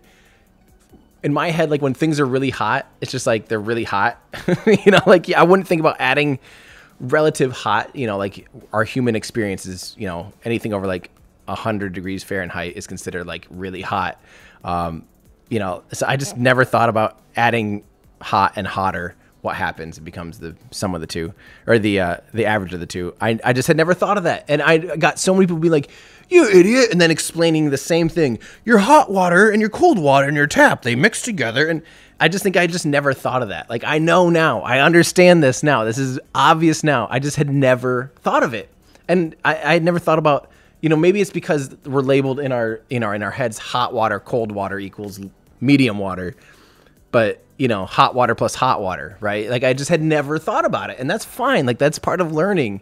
That's why I included it in the video. I wanted you to realize that people learn and it's okay to not have a, fo- a strong foundation of physics and science and chemistry and all these things because you can learn on the go. I'm learning, you know, I'm like a three time, four time college dropout basically um, I never, I've never taken a physics lesson in my life. I don't think. Uh, I've definitely never taken a chemistry class. I might have had a physics class, one physics class in high school. But, but I'm, you know, like for me, I'm still learning a lot of these things on the go, and that's great. And so should you. You should never have the attitude that you know everything. Uh, uh, that's that's the humility of of of learning and, and of education is realizing, oh, geez, I was way off on that. Uh, let this new base of knowledge open up another sector of knowledge for myself. You know, um, that's why I included that in the video. And I got so many people. If you read the comments, there's probably a thousand comments of people explaining to me how hot plus cold, blah blah blah. And I'm like, I get it now. I understand. You don't have to explain that to me again. And I don't know why, but that just always is like read read the comments and see if, if you see the same thing a hundred times don't say it again maybe that's my yeah that's my rant for the day tim dodd's rant for the day um, alexander how many times do you think this booster will fly? I'm, i think um, uh, how many times do you think this booster will fly? Uh, they they're designed to be flown about 10 times. I think this booster might fly 10 times. We'll see. We'll see if it's worth it. At what point does it become okay we really have to do some significant refurbishment to this vehicle? Is that going to be worth it safety wise and worth it time and effort wise you know? So um, hopefully we'll see 10 flights. They're designed for 10 flights. That'd be awesome. That'd be a great milestone um, D Messer, hope to see Starlink over UK in its second orbit. That would be cool. That'd be really cool. Yes. If you have a clear night in Europe right now, um, and if it's going to be in 90 minutes from now, basically, or 80 minutes from now, if it's going to be uh, dusk for you, if the sun will have set, definitely look outside and get ready. You might see that train of Starlink satellites. That would be super cool. At first, it'll basically just be a long, slightly elongated clump, and it might just be a clump at first. That's a good call. Thanks for reminding me, uh, D Messer. Jesper, thanks for your hard, thanks for your work, and good luck to your dad. Do we know of any big customers who will use Starlink? We don't know of any publicly, but I think the military has expressed interest, and there's some considerations for military usage. Um, and then I don't know, I don't know of any signed deals or anything, and I just hope that they go direct to consumer really quick. I would love to have Starlink myself, um, especially being able to take a pizza box size thing and stick it on top of my car and provide 4K coverage at at Starship events and stuff like that. Yes, please. So I really hope they go direct to consumer very, very quickly. Um, if not, if not direct to consumer, I hope that I can lease that equipment from someone else very quickly again too, because I will be one of their very first customers if that's the case. Uh, Panese, um, hope you had a good time in Vienna. I live in Austria, but couldn't travel from Linz. Hope to meet up with you if you decide to come back. Absolutely. I, I think at some point in the next, we'll say 18 months, I would love to do a small U.S. tour and a small European tour um, where I just do a, a speaking thing. I'll come up with some cool presentation, um, and it'll be super fun. And you guys can all come hang out, and it'll be super awesome. So I'm thinking about maybe like the top five cities in Europe, and maybe the top like five or six or seven cities in the U.S. too. Um, maybe I'll go beyond that someday. Um, yeah, I don't know. Maybe I could try to. I don't think it's time to do a, a world tour or anything yet, but I, I would, I, like I said, I would love to see India. I would love to see, you know, Japan. I would love to see China's space. I would love to see Russia's space agency. Ugh, there's so much stuff to see. So much stuff to see. Okay, um, Tim, can can we switch to NASA's live stream of the Mercury transit? There won't be another one for 12 years. Either way, I love your work. We can do that. We well, we have seven minutes. Eh, ah, we can watch the replay. Honestly, I don't really want to miss anything here, just in case. Um, but yeah, and I'm sure we'll see plenty of good scientific data from the Mercury transit. That is pretty cool. That's happening right now, though. Um, hey, thank you so much, Christoph, to Japan Fund. That is awesome. I would again, I would love to be there uh, someday for sure. Hartley, uh, do video on why it's so hard to land on the moon. That's a good idea because there has not been the moon has been a harsh, harsh, harsh old giant lately. I feel like it's it's not been very uh, forgiving to really anyone but China. China had luck this year, um, but then Israel with their lander and India with their lander, they had some hard lithobraking. Um, yeah, it's been it's too bad.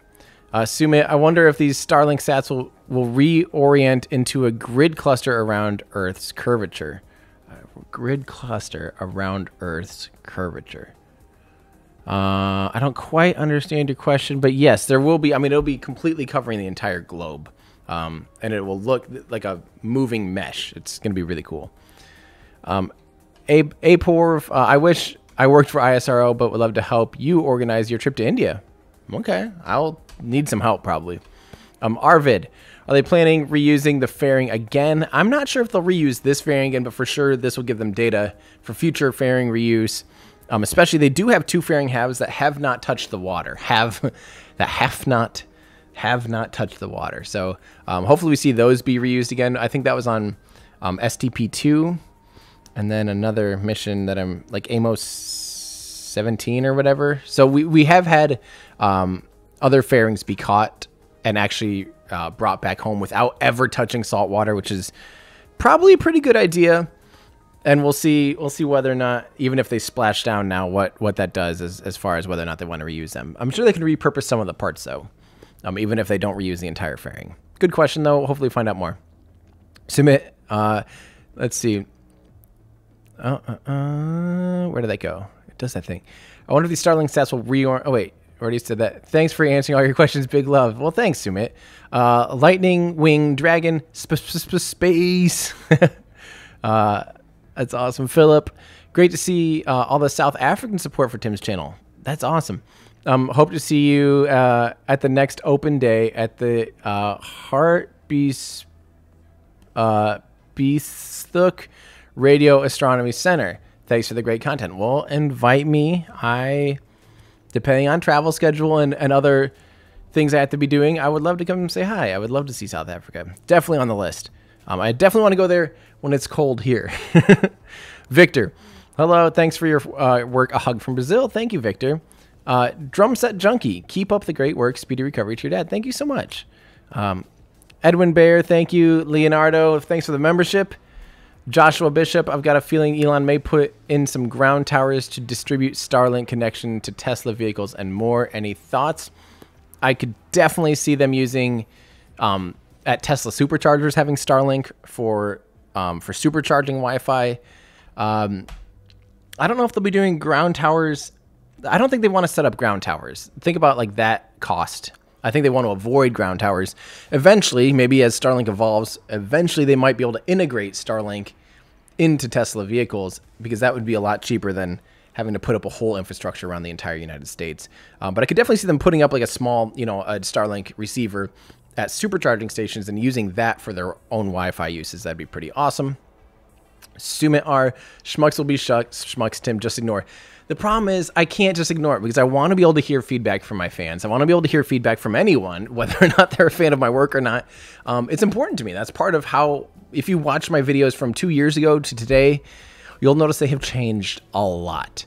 Like, a lot. And I think the tone, the research, every bit of my videos is better because I've been able to listen to feedback because our Discord channel has made the videos so much better. And as people are able to catch, um, you know, problems before the videos post, they're able to help me fact check and do all these things and double check my work before it all comes out. Um, I have to listen to feedback. And so it's easy to say, it's really easy to say, ignore it. But when you have literally thousands of comments a day, and some of them are just repeat over and over, correcting the same thing that you already know as a mistake, you just can't ignore it. And I think that's the whole issue um, that YouTube has. Uh, that's the problem with social media, period. That feedback loop, positive or negative, is a huge issue. That's not natural. That's not normal. There's no other venue in the world where even, you know, even a, a concert, if, if you're a, a, a rock star 30 years ago, you go in front of a stadium, you're not going to hear individual, hey, look at that guy's shirt. It's really ugly. Or, hey, did you notice that he had a, a zit? You know, like there, you don't hear individual comments. That that's not normal. If you made a movie, you don't get to hear every single person that went to the movie. You don't get to hear what their thoughts were. YouTube and social media, it's different. You literally can read everything that everyone's ever said publicly about what you said. That's just that's new, you know. And again, even if you're uh, a movie star these days, at least most of the comments about, say, the Avengers film won't be on your personal direct Instagram account or your Twitter feed or something. You might find it, you know, if you go out searching for reviews and stuff like that. Oh. We are having a little trouble with the video on board the vehicle, but we are still getting telemetry, so you may see that video cut in and out a little bit right now. Um, but so far, we've had a on-time liftoff, completed the first reflight of a fairing, the first time that we've flown and landed a first stage booster, and we also did confirm nominal ins insertion or good orbit of the second stage. So coming up next is SES-2 in about 20 seconds from now. Um, and this will be the shortest SES we've ever had, lasting just about one second. Wow. It's a short burn because the deployment orbit for these satellites isn't much different than our initial parking orbit, so we just need a quick burn to get us there. Really? That's crazy that they have that kind of control. Just a second. Just. Pfft. Waiting for that SES2 and SECO 2. It's going to be very quick. And boom, and, and there boom. it is. and second oh engine cutoff gosh. is complete. Waiting to hear for good orbit. Hopefully nominal orbital insertion. Should hear that call out in a few seconds. Nominal orbit insertion for satellite deploy. And there is the confirmation of good orbit. Now that we're in a good orbit, we'll be coasting for the next 15 minutes or so. So we will be back around T plus one hour for the exciting payload deployment of our Starlink satellites. Sweet. So I'm going to definitely stick around because I want to see that spin maneuver. They, they spin it long side, you know, and, and that's going to be definitely something to see. Um, that's funny. Okay, so, um, so anyway, yeah, that, that was my that was my rant again about about comment sections. I'll stop now. Um, Evan, my dog Cassidy, not the dog in the profile picture. Thank you for clarifying. Uh, slept through the launch even though I was cheering at it at all the major points. Dang, Cassidy, you are a light sleeper. You're supposed to be watching the house and making sure burglars don't sneak in at night and take pizza from the fridge. Come on, Cassidy. Well, tell Cassidy hi and your other dog as well. I I'm gonna go ahead and say that looks like a pretty good pup. Um, thanks, Evan. Uh, Martin Alsop, booster landings just blow my mind. Incredible. They seriously like they don't get old, and especially when we actually get to see them in real time without it cutting out. Awesome, great work, SpaceX. You're making it look so easy and so normal. That's crazy, crazy. Um, are you guys getting a good feed? Let me double. Okay, it looks like everything's up and running. Okay. All right. So the blue line. Someone asked what the blue line is. The blue line is the next orbit. So we'll see that. Um, because don't forget that the orbit actually stays the same, but the Earth spins below it. So that's how much difference there'll be between the first and second orbit. That's how much the Earth will have spun um, relative. So yeah, hope that makes sense. um, Stark Studios, will these Starlink sats be visible over the US? They'll be visible anywhere around the world under the right conditions, yes. Especially before they get into their fully orbital, um, into their final orbits. And as the like satellite or as the excuse me, solar arrays extend and things like that, you'll be able to see them better or worse under certain conditions. At first, they'll just be a train of satellites, and eventually they'll all spread out and, and change their orbits, and it'll be really cool.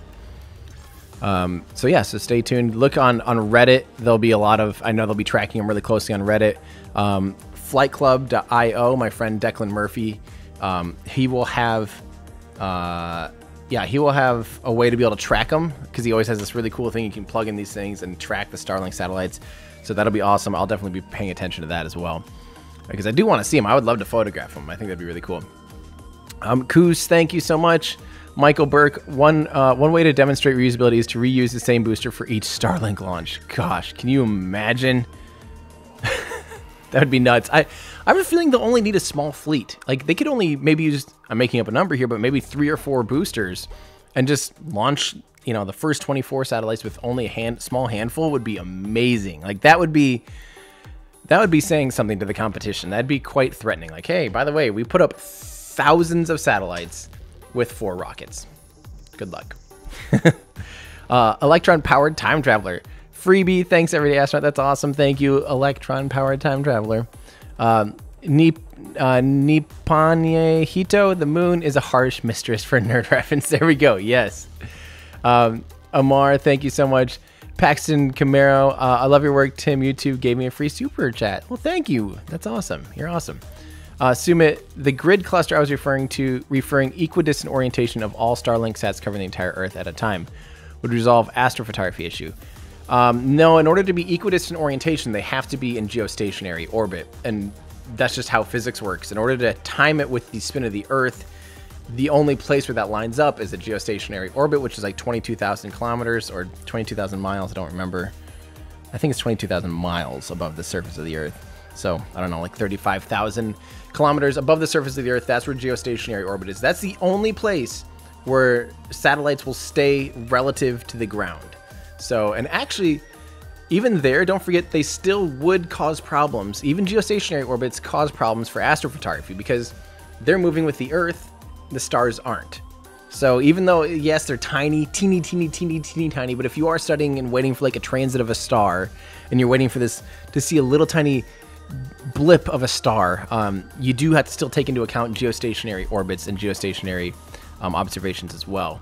Um, it's just easier because you can at least see that, but it's not it's not like uh, if it's in geostationary orbit moving with the Earth, it's it's game over, you know. So, um, and unfortunately, being in low Earth orbit, in order to cover the entire Earth, you have to do this thing where you're doing different inclinations, and you they can't all be in the same way. You can't have this perfect grid that, that moves with the Earth.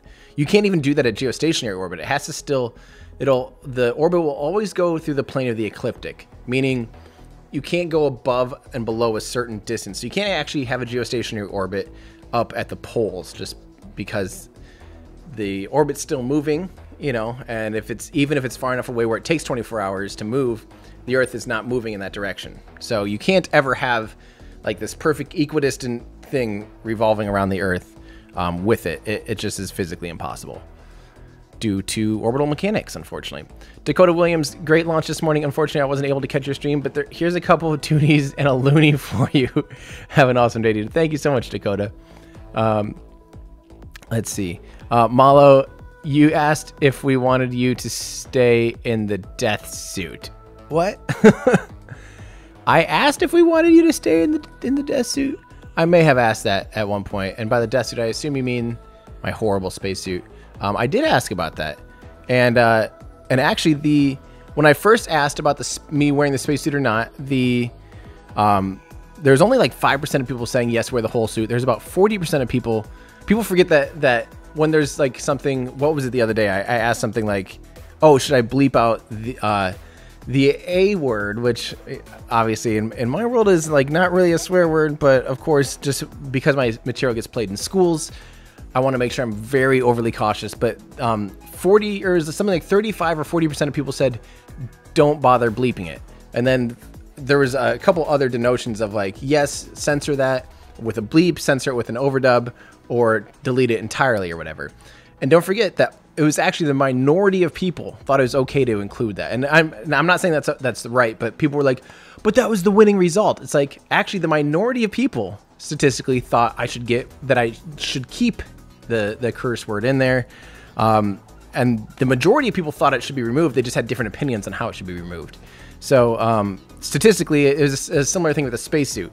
I actually had a minority of people wanting in one in one of my last polls that I ever had of it a minority of people wanted me in the spacesuit at all. Most people just said wear a t-shirt. And for me, I was already leaning on wearing a t-shirt because I hated wearing that thing. Um, I like just being myself more.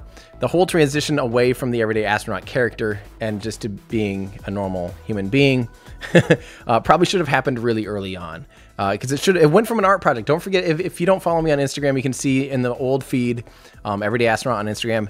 It started off as an art project. This whole thing, all everything I do in my life, all started because I bought a spacesuit as a joke, and then started taking pictures of myself as a professional photographer. Started taking pictures of myself in all these whimsical settings, making up these kind of like mini stories of this character, the everyday astronaut. Um, but in that process of shooting that material, I fell in love with like all of the details of space history and flight hardware. Started playing Kerbal uh, just nonstop, basically. Um, that was in uh, late 2013. I started, uh, or in 2014, I started playing Kerbal Space Program like all the time, and that that really got me hooked and I kept watching. Um, there's this mini series called uh, When We Left Earth that was on, I think it was on Discovery. It's narrated by uh, uh, Gary Sinise, and it was really, really, really good. And I, I just between that stuff, I, I, really fell in love with the the actual history, the engineering, all of those aspects of spaceflight. And um, so I took the everyday astronaut character initially and put it onto YouTube, where I could teach people what I was falling in love with uh, about spaceflight and all the little things that I was learning myself and then I, I kind of realized that that probably should have never happened. I should have just been myself. I, but the, I think at the time I thought, you know, I had at the time I think like fifty thousand or sixty thousand uh, followers on on Instagram, and I thought, oh, I need to take if I start YouTube, I need to take the character Everyday Astronaut, bring it to YouTube, and I, all those Instagram followers will come with.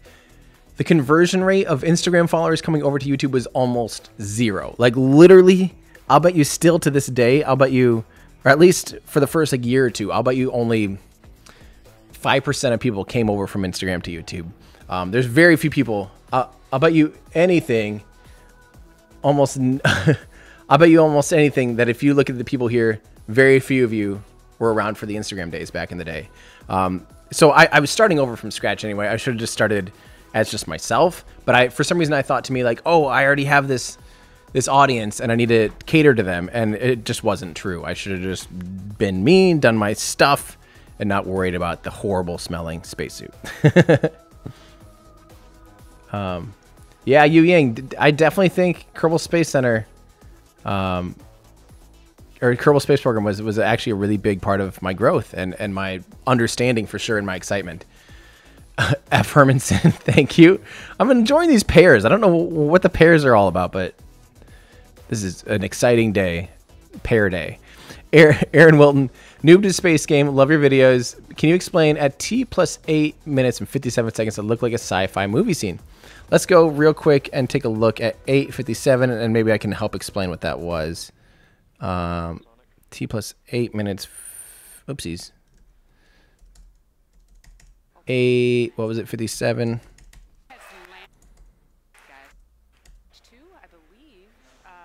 Okay, so this is um, an image of inside the LOX tank. So this is the liquid. That's liquid oxygen you're seeing inside the tank, and because they're no longer burning, it's just floating around in in, in zero g, sloshing around there. And now you see that needs to be settled. So before a burn, they they either will do um, a little bit of cold gas thrusters, um, and yeah, let's watch this again. And they'll settle that liquid oxygen into the bottom of the tank. So you're seeing inside the tank, you're also seeing these are helium tanks, uh, which backfill pressure, and they make sure that this tank is pressurized to about three bar or 45 psi ish. Um, it maintains this pressure. You can see baffles to prevent sloshing. And uh, yeah, and right now, because it's not under any acceleration or not sitting on Earth where you're actually experiencing 9.8 Gs, uh, because of that, this is just floating around. And so, in order to settle the propellant, they will typically fire um, a little. They'll they'll fire some cold gas thrusters that'll push the propellant, basically catch the propellant at the bottom of the tank. That way, the the pumps, the turbo pumps, don't induce and suck in bubbles of of helium. Basically, yeah. Let me get all the way back to this so we don't miss anything. Make sure we're all caught up. Play. Because they're coming up on deployment, which I'm really excited about. Good question. Hopefully that answers that. Um, yeah, that, that's unusual. We don't actually normally see that. So even if you're new to this, even if you're not new to the space game, um, that is pretty unusual. Um, let's see here. Uh, Meth, Math, Math, Mathai. I hope you will uh, consider Switzerland in your Europe tour. I love your work. Keep it up. Sorry for not being. Uh, wait, sorry, where was that?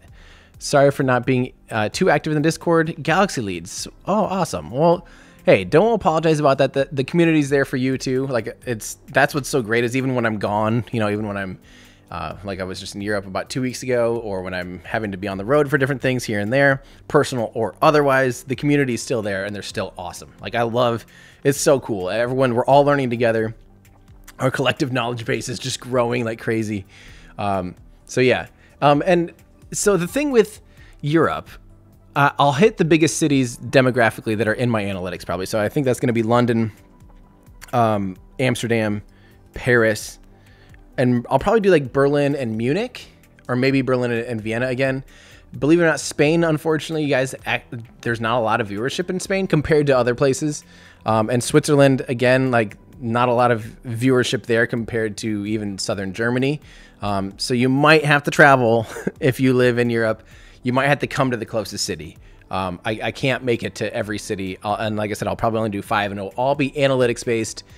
Um, but those are those are the biggest cities that I can tell by analytics. So the other, uh, I think it's one of the cities in Spain was like up there ish, but it's still dwarfed by even like Munich and, and other cities in Germany.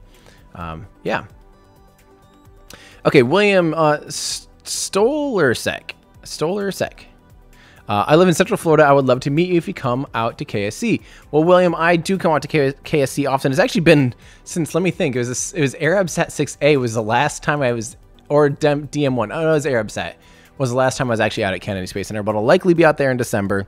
Um, so stay tuned. I, I, always do. I try to do Patreon meetups when I come out to to launches, um, and I might do a public meetup as well. So stay tuned. Uh, Christoph, uh, have you done a possible render of Starlink in Kerbal of the full constellation? Then, oh, that'd be really hard. Starlink, we are getting very close to deployment of those 60 Starlink satellites. Now, after deployment, the satellites will appear to be kind of clumped together, but that's totally normal.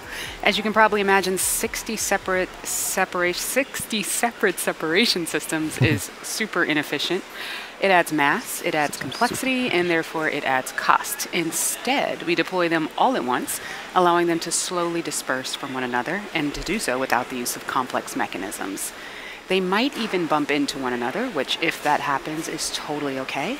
The satellites were designed with this possibility in mind. I love that. That was a good alliteration. 60 separate separations are super intricate, I think is what she said. All right, we lost the video just there, but let's listen in and see if we have any word on the deployment.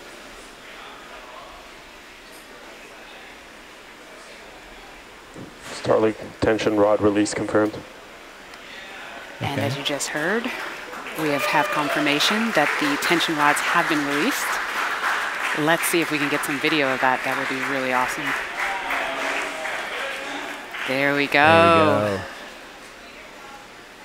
It's like a deck of cards. Now, as they make their way off, next they'll start to slowly drift apart and then deploy their singular solar array pointed at the sun to begin charging their batteries.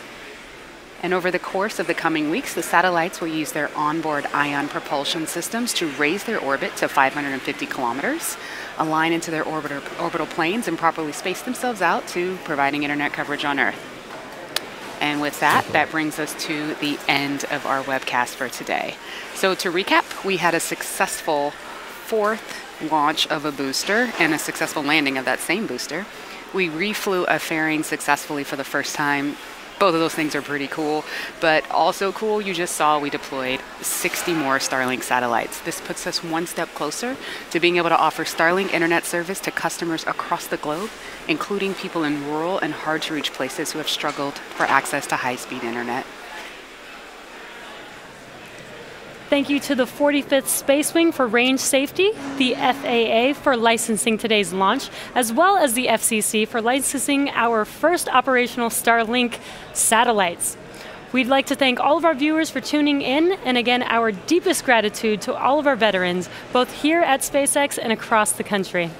Follow our website and social media platforms for updates on our next missions and milestones. And until next time, I hope you all have a great morning just like we did. Yay. Okay. Well, again, congratulations, SpaceX. That was an awesome mission. A lot went on there. And that it's just crazy. This is remember, we're going to get really sick of these missions. I guarantee it because there's going to be a ton of Starlink missions. But uh, I'll try and live stream as many as I can. I definitely can't live stream all 24 next year. There's just no way. I that'd be a full time job um, on its own, and I wouldn't have time to do anything else. But maybe you know, I'll try and do as many as I can though.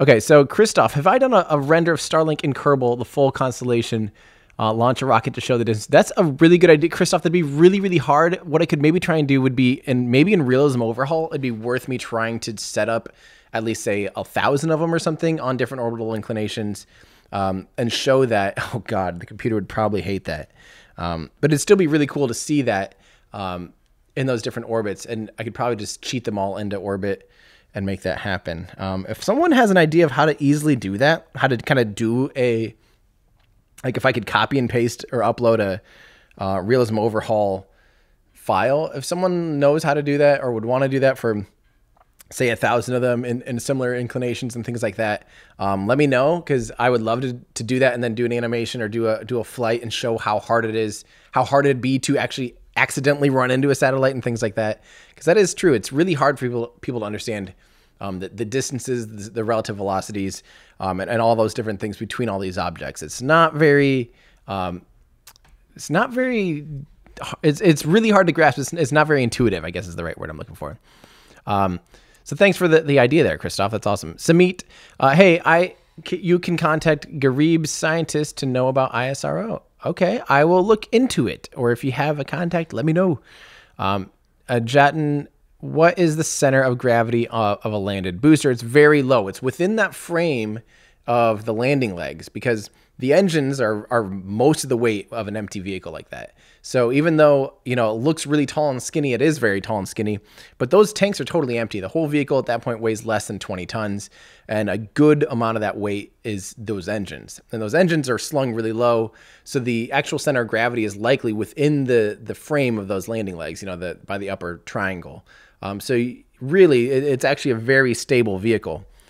Um, someone has calculated relative pretty with relative accuracy where the center of gravity is and it's again quite low. Um, let's see. What did spacex mean about one sat might not raise? So one of the satellites basically they already knew had a problem and they intentionally launched it with a satellite that's already probably not going to work and that way they can watch it deorbit they can make sure it uh, it does entirely break up as as now intended. They previously had materials on the vehicle which would have likely which would have likely uh, survived reentry and potentially could have bonked someone in the head. Very unlikely, but um, that was a possibility. And when you have say forty thousand of these in the sky, if every single time one deorbits, you have debris hitting, uh, landing on places, that's not a good idea. So they are now one hundred percent uh, demisable, or they will burn up on reentry. So they the, the one that was defunct or, or, not operational once they stacked them, they're just letting it fly with the rest of them. It, it, would take more effort to you know to undo the fairings and and unstack all the the satellites, and instead it's just better to keep your schedule and move forward. Uh, it's just a lot cheaper to do it that way. So yeah, so that one likely is is not going to work, and they're just okay with it. You know, it's 60 out of what would be like 40,000. So, or it's one out of what would be like 40,000. So it's not worth the effort to like take it all apart and do that again.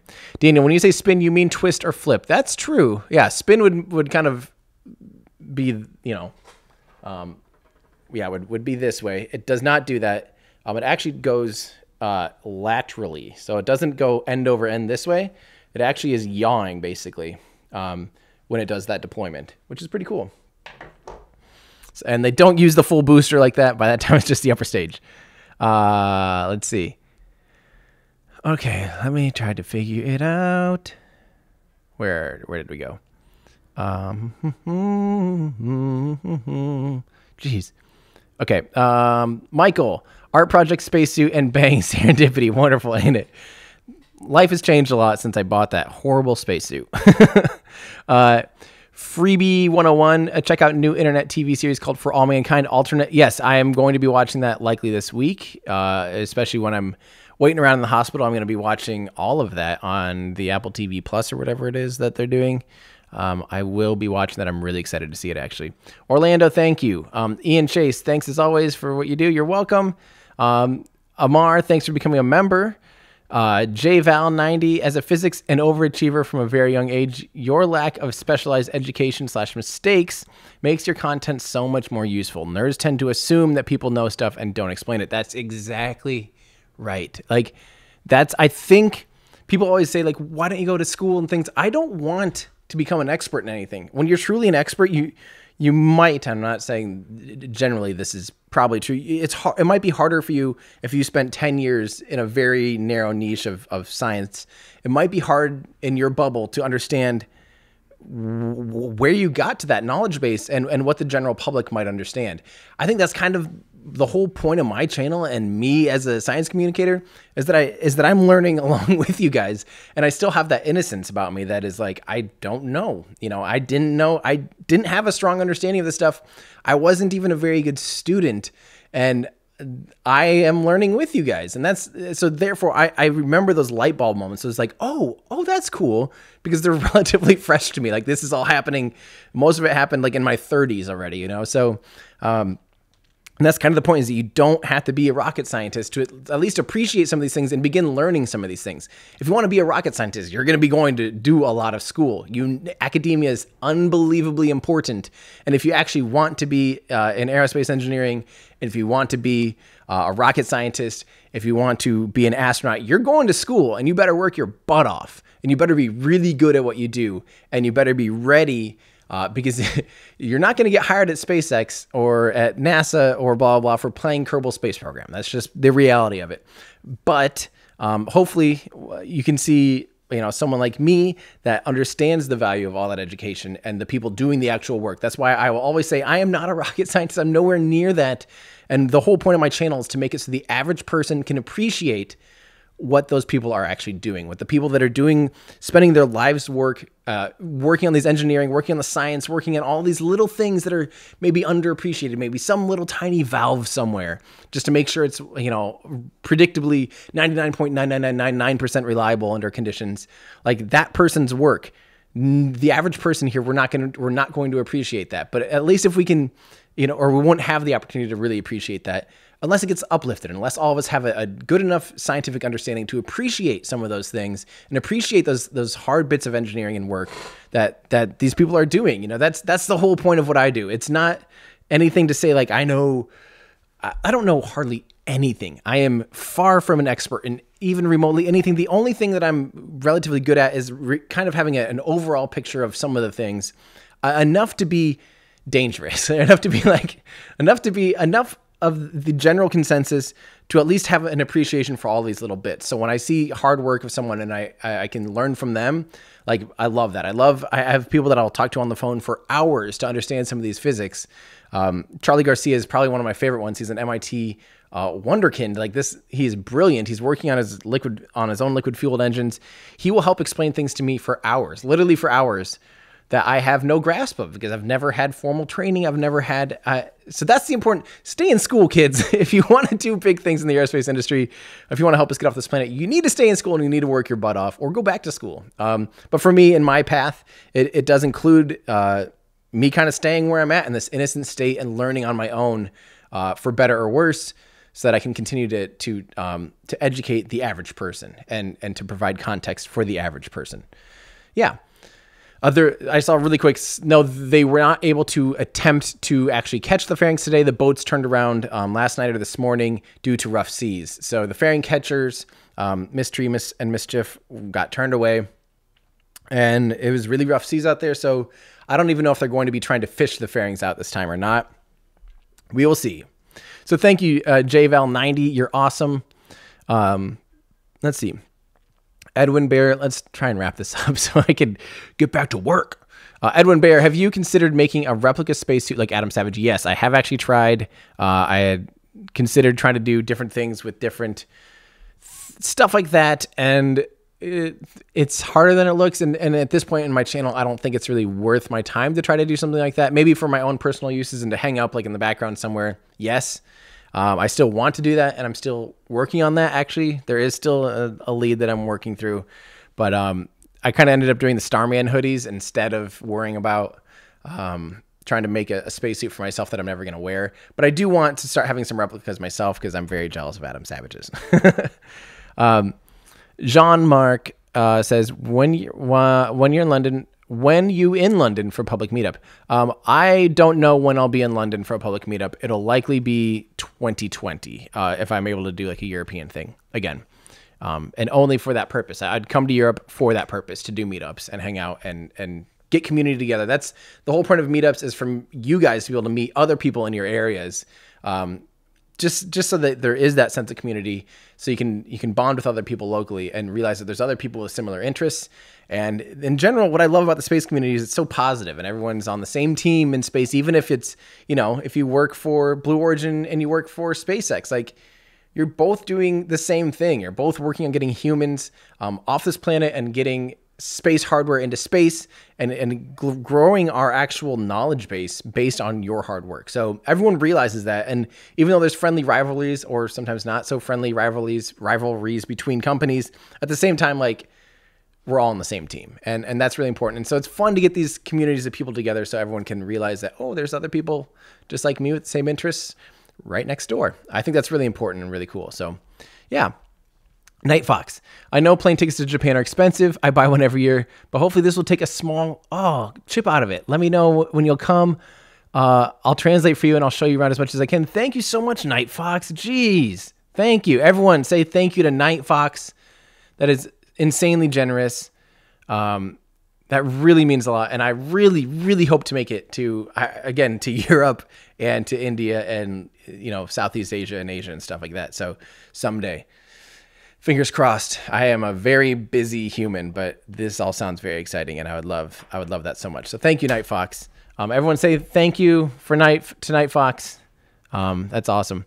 Um, Arvid, uh, you should go to the Nor- Norwegian Space Center. Uh, it's it is from uh, Norway. Almost started World War Three. Yes, I've heard about that. Yes, I would like to see that. And I also needed. I was going to do Sweden on this last trip. Ended up not really having time to do that um, because I want to go to Stockholm and see the world's largest scale solar system.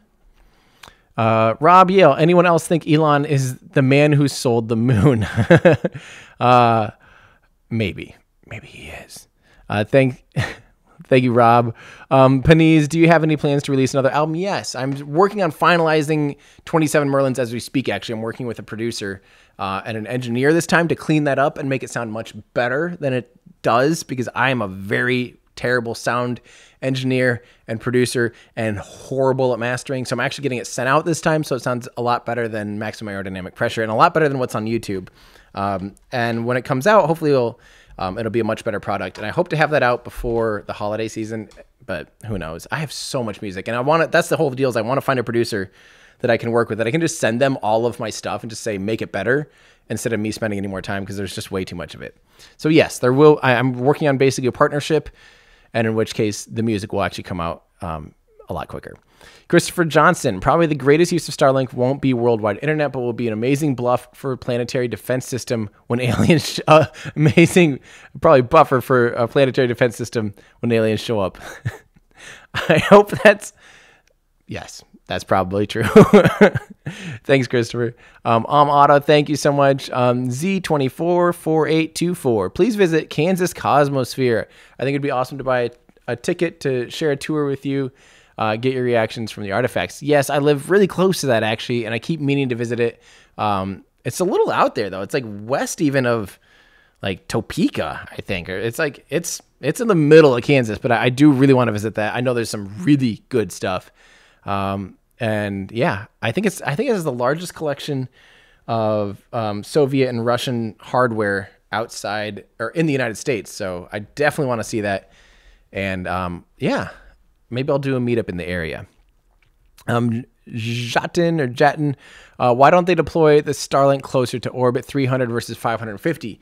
Um, it all depends on. So the closer you are to orbit, the less time actually, um, the closer you are to the surface of the Earth, the less time you actually have in the field of view of someone on the ground or a ground tracking station.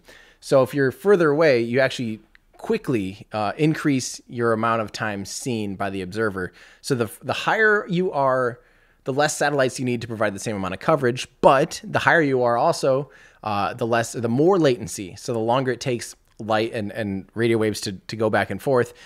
But also, the higher the orbit, the less atmospheric drag you have. So at 300 kilometers, you actually have a significant amount of atmospheric drag, and you deorbit within, say, two or three months. I'm making up a number, but somewhere within a month, month's time scale. So maybe one to six. I have no idea.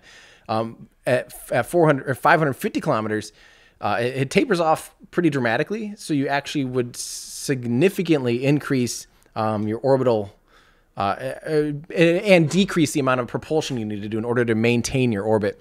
The the bad thing about that is if you do have a satellite go defunct, it, will stay in orbit longer than one that's at 300 kilometers. So there's this whole trade off, and they're constantly tweaking it. And the Starlink constellation is, you know, living and adaptable. They could actually tweak it as they get along, and as you know, they get to their 30th Starlink, you know, mission times 60 satellites, whatever that is, you know, 1800 satellites or whatever and they could actually change the orbits of the entire thing relative, uh, at least orbital altitudes. They can't really change inclination too much. That's really expensive. But, you know, there's things they can do and, and tweak and, and hone in on that based on, you know, parameters and all that stuff. And it's a constant trade off. Everything about rocket science and everything about rocket engineering is all always a trade-off. There's there's good and bad out of every single decision you make. So yeah, it's all it's all these optimizations. Bert, thank you for becoming a member. Uh, Thomas, hey Tim, I believe the KSP Starlink demo uh, could be done by generating this, this save file with a simple program. A programmer could do it. Haha. Well, Tomas, if you can handle that, you let me know. Um, that would be awesome. Close call. Starlink live streaming. Happy Veterans Day to all those uh, who have honorably served. Good, good. Thank you for saying that. Close call. Um, yes, in the United States, again, today is Veterans Day. I have a lot of friends that have served in the military. Um, one of my best friends served in the Navy as an EOD officer. I don't know if, I don't know how many of you know this, but actually, uh, one of my best friends is actually the fifth surviving quad amputee. So he actually was a Navy EOD officer, which is a explosive ordnance disposal, um, meaning he was out there, you know, um, with like Navy SEALs and stuff. He served in Afghanistan. They were they uh, you know he was looking for bombs basically and IEDs, and they got ambushed one time. He unfortunately they kind of ran into this building that had already been cleared several times, and he was the guy that led the charge and, and was looking for IEDs still. Unfortunately, stepped on one that went undetected, and you know totally flew through the air and on impact realized immediately that he'd lost um, everything except for basically like he had just pieces of one of his hand. And ended up having to have that amputated once he got um, saved basically. But um, yeah that's my friend taylor morris. Uh, taylor if you're watching hi. Uh, but yeah uh, that was a crazy that was 2013 that was a crazy time. Um, the military stuff is not fun. Uh, it's a sad necessity i think as far as our, our current understanding of the universe and, and our human condition but it, uh, yeah, it, it's it's a tough situation for those people that do serve, um, regardless of your belief system. Um, but yeah, it, it's it's an emotional thing. So to those of you veterans, uh, happy Veterans Day and thank you for your service. Um, yeah, that's always going to be a, um, yeah, a close a close thing to my heart. So Zach Spencer, uh, YouTube gave me, and by the way, he's doing great now. I should I should mention that Taylor is kicking butt. He got married in 2015 uh, to his girlfriend that was with him through everything. They're kicking absolute butt. Gary Sinise, actually, who I talked about earlier, built them a home with the Tunnels to Towers Foundation um, and Wounded Warrior program. I, I, think it's actually Wounded Warriors uh, are the ones that built the home. Um, but yeah, he lives here in Northeast Iowa, and uh, they are doing awesome. He's kicking butt, totally independent. Um, he went right back at it basically like right away. He he recovered unbelievably fast and he's amazing. So yeah. Um, also, we got him a ride in 2014, February 2014. We got him a ride in Ken Block's race car, which was awesome. That was kind of one of the first times where um, my friend and I, Ben, we kind of assembled this like media department to help Taylor share his story and and to help him, you know, do whatever he wanted to do. He was getting all these cool offers, and his his goals were to either ride in an F1 car an F16 or Ken Block's race car. Those were the three things he wanted to do, and we ended up getting him a ride in Ken Block's race car. And at one point, Ken Block's race car. Uh, for those who don't know who Ken Block is, he does Jim Gymkhana, those drifting videos where he goes nuts um, all around the world. Uh, even on gravel, it stopped so fast it actually popped Taylor's legs off. His his uh his prosthetics went right out of his sockets because it was braking so hard. That's how much uh, braking force, even on gravel, that car had. It was unbelievable that was a fun day. Um, yeah, sorry, that was a long rant. Zach Spencer, you two give me a free super chat, and you deserve it more than any other creator. Follow, keep up the amazing work, Tim. Your demeanor brightens my day. Thank you, Zach. That really means a lot. Uh, I I love what I do. I re- I wouldn't be doing this if I didn't just absolutely love it, and the community makes it so much better. I think I have the best fans in the world. Uh, my even the uh, for those of you that don't watch our ludicrous future, we talk about this often. Um, and behind the scenes, I oftentimes just am like, guys, my fans are the best, and they they agree. Joe Scott's and no offense to Joe Scott's fans or Ben Sullins' fans, but they're always like, dude, your fans are awesome because you guys go so far out of your way to help me do things, um, including the Discord channel. Um, yeah, so thank you again for my awesome community. You guys are the best. You really, really are. Uh, you go above and beyond. So thank you, Zach. Uh, that's also a shout out. Don't forget, I do a weekly podcast called Our Ludicrous Future. Uh, it's on YouTube. It's also on anything you listen to with two other YouTubers. So if you want more weekly and daily or weekly space news and more informal, just kind of conversational, a way to chew up almost two hours of, of your day once a week, our ludicrous future. There's a link in the description. Be sure and give that a listen and subscribe to that right now. Uh, Christoph, Uh, for all mankind makes me makes you think of the alternate view and perception, uh, mindsets and emotions people went through in the USA and Russia and the world. I'm really excited to watch it because I think that's really important just to have that perspective, um, especially you know when you grow up in the United States. There's always a lot of, you know, I think most um, you know most countries and, and wherever you live there's always like a certain amount of pride and nationalism but I, I always think stuff like that's really important you know especially looking at the space race from a, an alternate viewpoint other than where you grew up um, can definitely be eye-opening and so even just seeing that taken to the next extreme and a, and a alternate history version might be a really cool eye-opening thing that helps you kind of appreciate things from the other side so um, i'm really excited to watch that Marty uh, at T plus 10133 something past stage two, please comment. So stuff falls off of stuff all the time. I, I need to remind people of this. There's ice chunks. There's stuff like this is totally normal. So there's going to be ice chunks falling off of the stage. You can see little things here, likely ice. And Let's see. Yep, that's likely an ice chunk because don't forget this this vehicle is frozen basically and it's still covered in sheets of ice and that ice melts off and and also gets purged the the oxygen gets purged off um, and it turns into to chunks of actual solid chunks of oxygen at, at that valve. And lots of times parts of that will break off. There's just bits. That's not stuff flying by. That's stuff floating away. Um, things flying by. This is such this is like a GoPro. And imagine a GoPro trying to capture a bullet, you know, or you know, even even a GoPro, imagine having a GoPro and a and a jet flies by 10 times faster than normal. Um, say a, a kilometer away. Like you're not to see that. It'll just be you, know, you might see like the craziest streak ever. The relative velocities of spaceflight is is almost impossible to understand. It's really hard to grasp. And uh, yeah, so when you see stuff like that, that's just bits of of most almost always ice. It's almost always ice because SpaceX doesn't use explosive bolts um, or pyrotechnics. They use only hydraulics and pusher systems to do uh, deployments, so they don't leave space debris um, on orbit. So yeah, just keep that in mind. Um, but yeah, hopefully that answers your question, Marty. Michael, whatever you do, don't sign away the rights to your music. I don't. And I the reason I make music was first and foremost to be able to use in my videos myself without it getting flagged. That was like the number one priority. But now uh, it just as my channel has grown, it's my opportunity to give back. And so I always encourage small use small creators. If you have a YouTube channel and you're you're just creating content for yourself or educational content, please use my music for free. Uh, just maybe do on screen.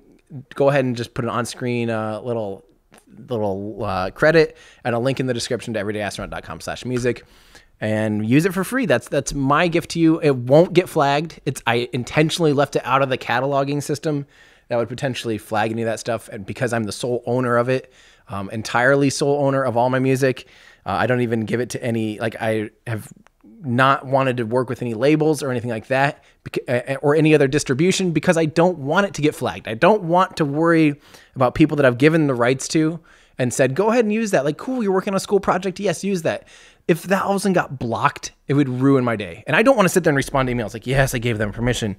Yes, I gave that person permission. Like, the net gain of that yeah, if you're a business and you want to license music for a commercial or a rocket launch, hit me up. Like that would probably be fair. But as far as a personal, if you're a small creator working on videos and, and you want music in the background, it'd be an honor to use my music. Like that's what it's there for. And it, like, why not? what would I have to gain for trying to be greedy about that? Like the whole mindset of the industry is so weird and like copyrights and stuff is just crazy. I get it. It's a weird subject and it's a tricky place to be right now, but at the same time, like I'm on the the side of airing of like I don't want to be bugged by that stuff. Like use use my content. I, I worked really hard to make it. I want it to be shared. Like that's what it matters. So yeah. People are asking when the launch is. The launch was about an hour ago. Mm, yeah. More than that. an hour and a half ago. okay. Um, and this will be the last little bit here. Nicholas Boyce, uh, only good YouTubers get good fans. Well, thank you. I have genuinely the best fans, and I don't think anyone can argue with that. Oh yeah. So um, that's guys. That's going to be it for me. Uh, one last reminder: if you want to, if you see anything in stock right now before the holiday season, get it because we're trying really hard to beef up stock in my web store everydayastronaut.com slash shop or shop.everydayastronaut.com. So if you see something that's in stock that you want, you better get it right now because likely all of that stuff will be gone before the holidays. Um, I will probably, I'll probably add a few leftover inventory to the rapid unscheduled discounts um, before, um, bef- for Black Friday. I'll probably beef that up. That'll probably be what I do for uh, a Black Friday sale. Will be have that beefed up with a few things. But other than that, like get in here while we can before stuff is sold out. Um, like I said, later this week, I think I'll have, um, we found a small batch of these left over, and that's going to be our last run of Grid Fanaticos just before I find something new to do. Um, also, the Aerospike engines will be, um, these shirts will be updated here soon, or like the quantities will be updated. Um, I think all of the, um, most of the olive green, the, the, they're kind of the army green. They, we should probably rename it to army green uh, instead of olive heather, but that's technically what color it is. Um, these are mostly out of stock, but I think we still have some gray ones. So if you want these, and remember all the shirts now, or most of the shirts that have these little tags, those are way cooler. Um, these tags are awesome. They're like custom hand sewn on there, like, uh, and they have new tags and everything. I'm really excited. The shirts have come a long way. They're really high quality. They're the perfect match between soft and cozy, but still like durable and fitted. They're just the right blend because they're ring spun cotton instead of the tri. I like tri blend a lot, but it can wear out really quickly. Um, so this is the right blend, in my opinion, between uh, durability, comfort, lightweight, but not too lightweight. Just right in the middle so that everyone's happy. Um, but yeah, so if you see something in the store, you better get it now before it's gone. Um, we even, you know, I have launch prints. These are original um, pictures that I took myself, uh, including lots of Starhopper ones. And I think there's a few more. Yeah, Starhopper, Falcon Heavy. Um, yeah. And then also some, remember I was talking about that, you know, I used to do the art project of Everyday Astronaut. I do still have some of these in stock. I even stocked up on a couple more that I need to add in there, I think. But yeah. Oh, which ones did I add? That's going to be a nightmare for me to remember. I have to add, did I not add those? I don't know. I have no idea. I am the most disorganized person. I need someone I already have people running the store, but I need someone to run my brain to run the uh, my end of the store. Okay, I'm gonna go work before I have to go back up to uh, to Rochester. So, um, again, thank you guys for hanging out with me today. I'm really glad that the the Starlink launch went very successfully. First reuse of a fairing ever. Fourth, first time a booster has flown four times and still landed. Huge congrats, SpaceX. 60 new um, uh, Starlink constellation satellites. Hopefully, we we see some passes. I'm going to check and see if it happens to pass me today or tomorrow or soon because that would be really cool. I'd love to see that train. Um, if we have some clear skies, which who knows. So thank you guys for hanging out. You guys are amazing. Um, yeah, I, I really appreciate everyone being here and hanging out. You guys make my day so much better. So. Okay, wish me luck. I'm gonna have a, a, probably a really emotional week as my dad undergoes open heart surgery. So everyone, hashtag Team Russ, uh, cheer him, cheer him on, and, and keep him in your thoughts and prayers. So yeah, that'd be really that'd mean a lot to me. So, all right, guys, that's gonna do it for me. I'm Tim Dodd, the Everyday Astronaut, bringing space down to Earth for everyday people. Bye, everybody.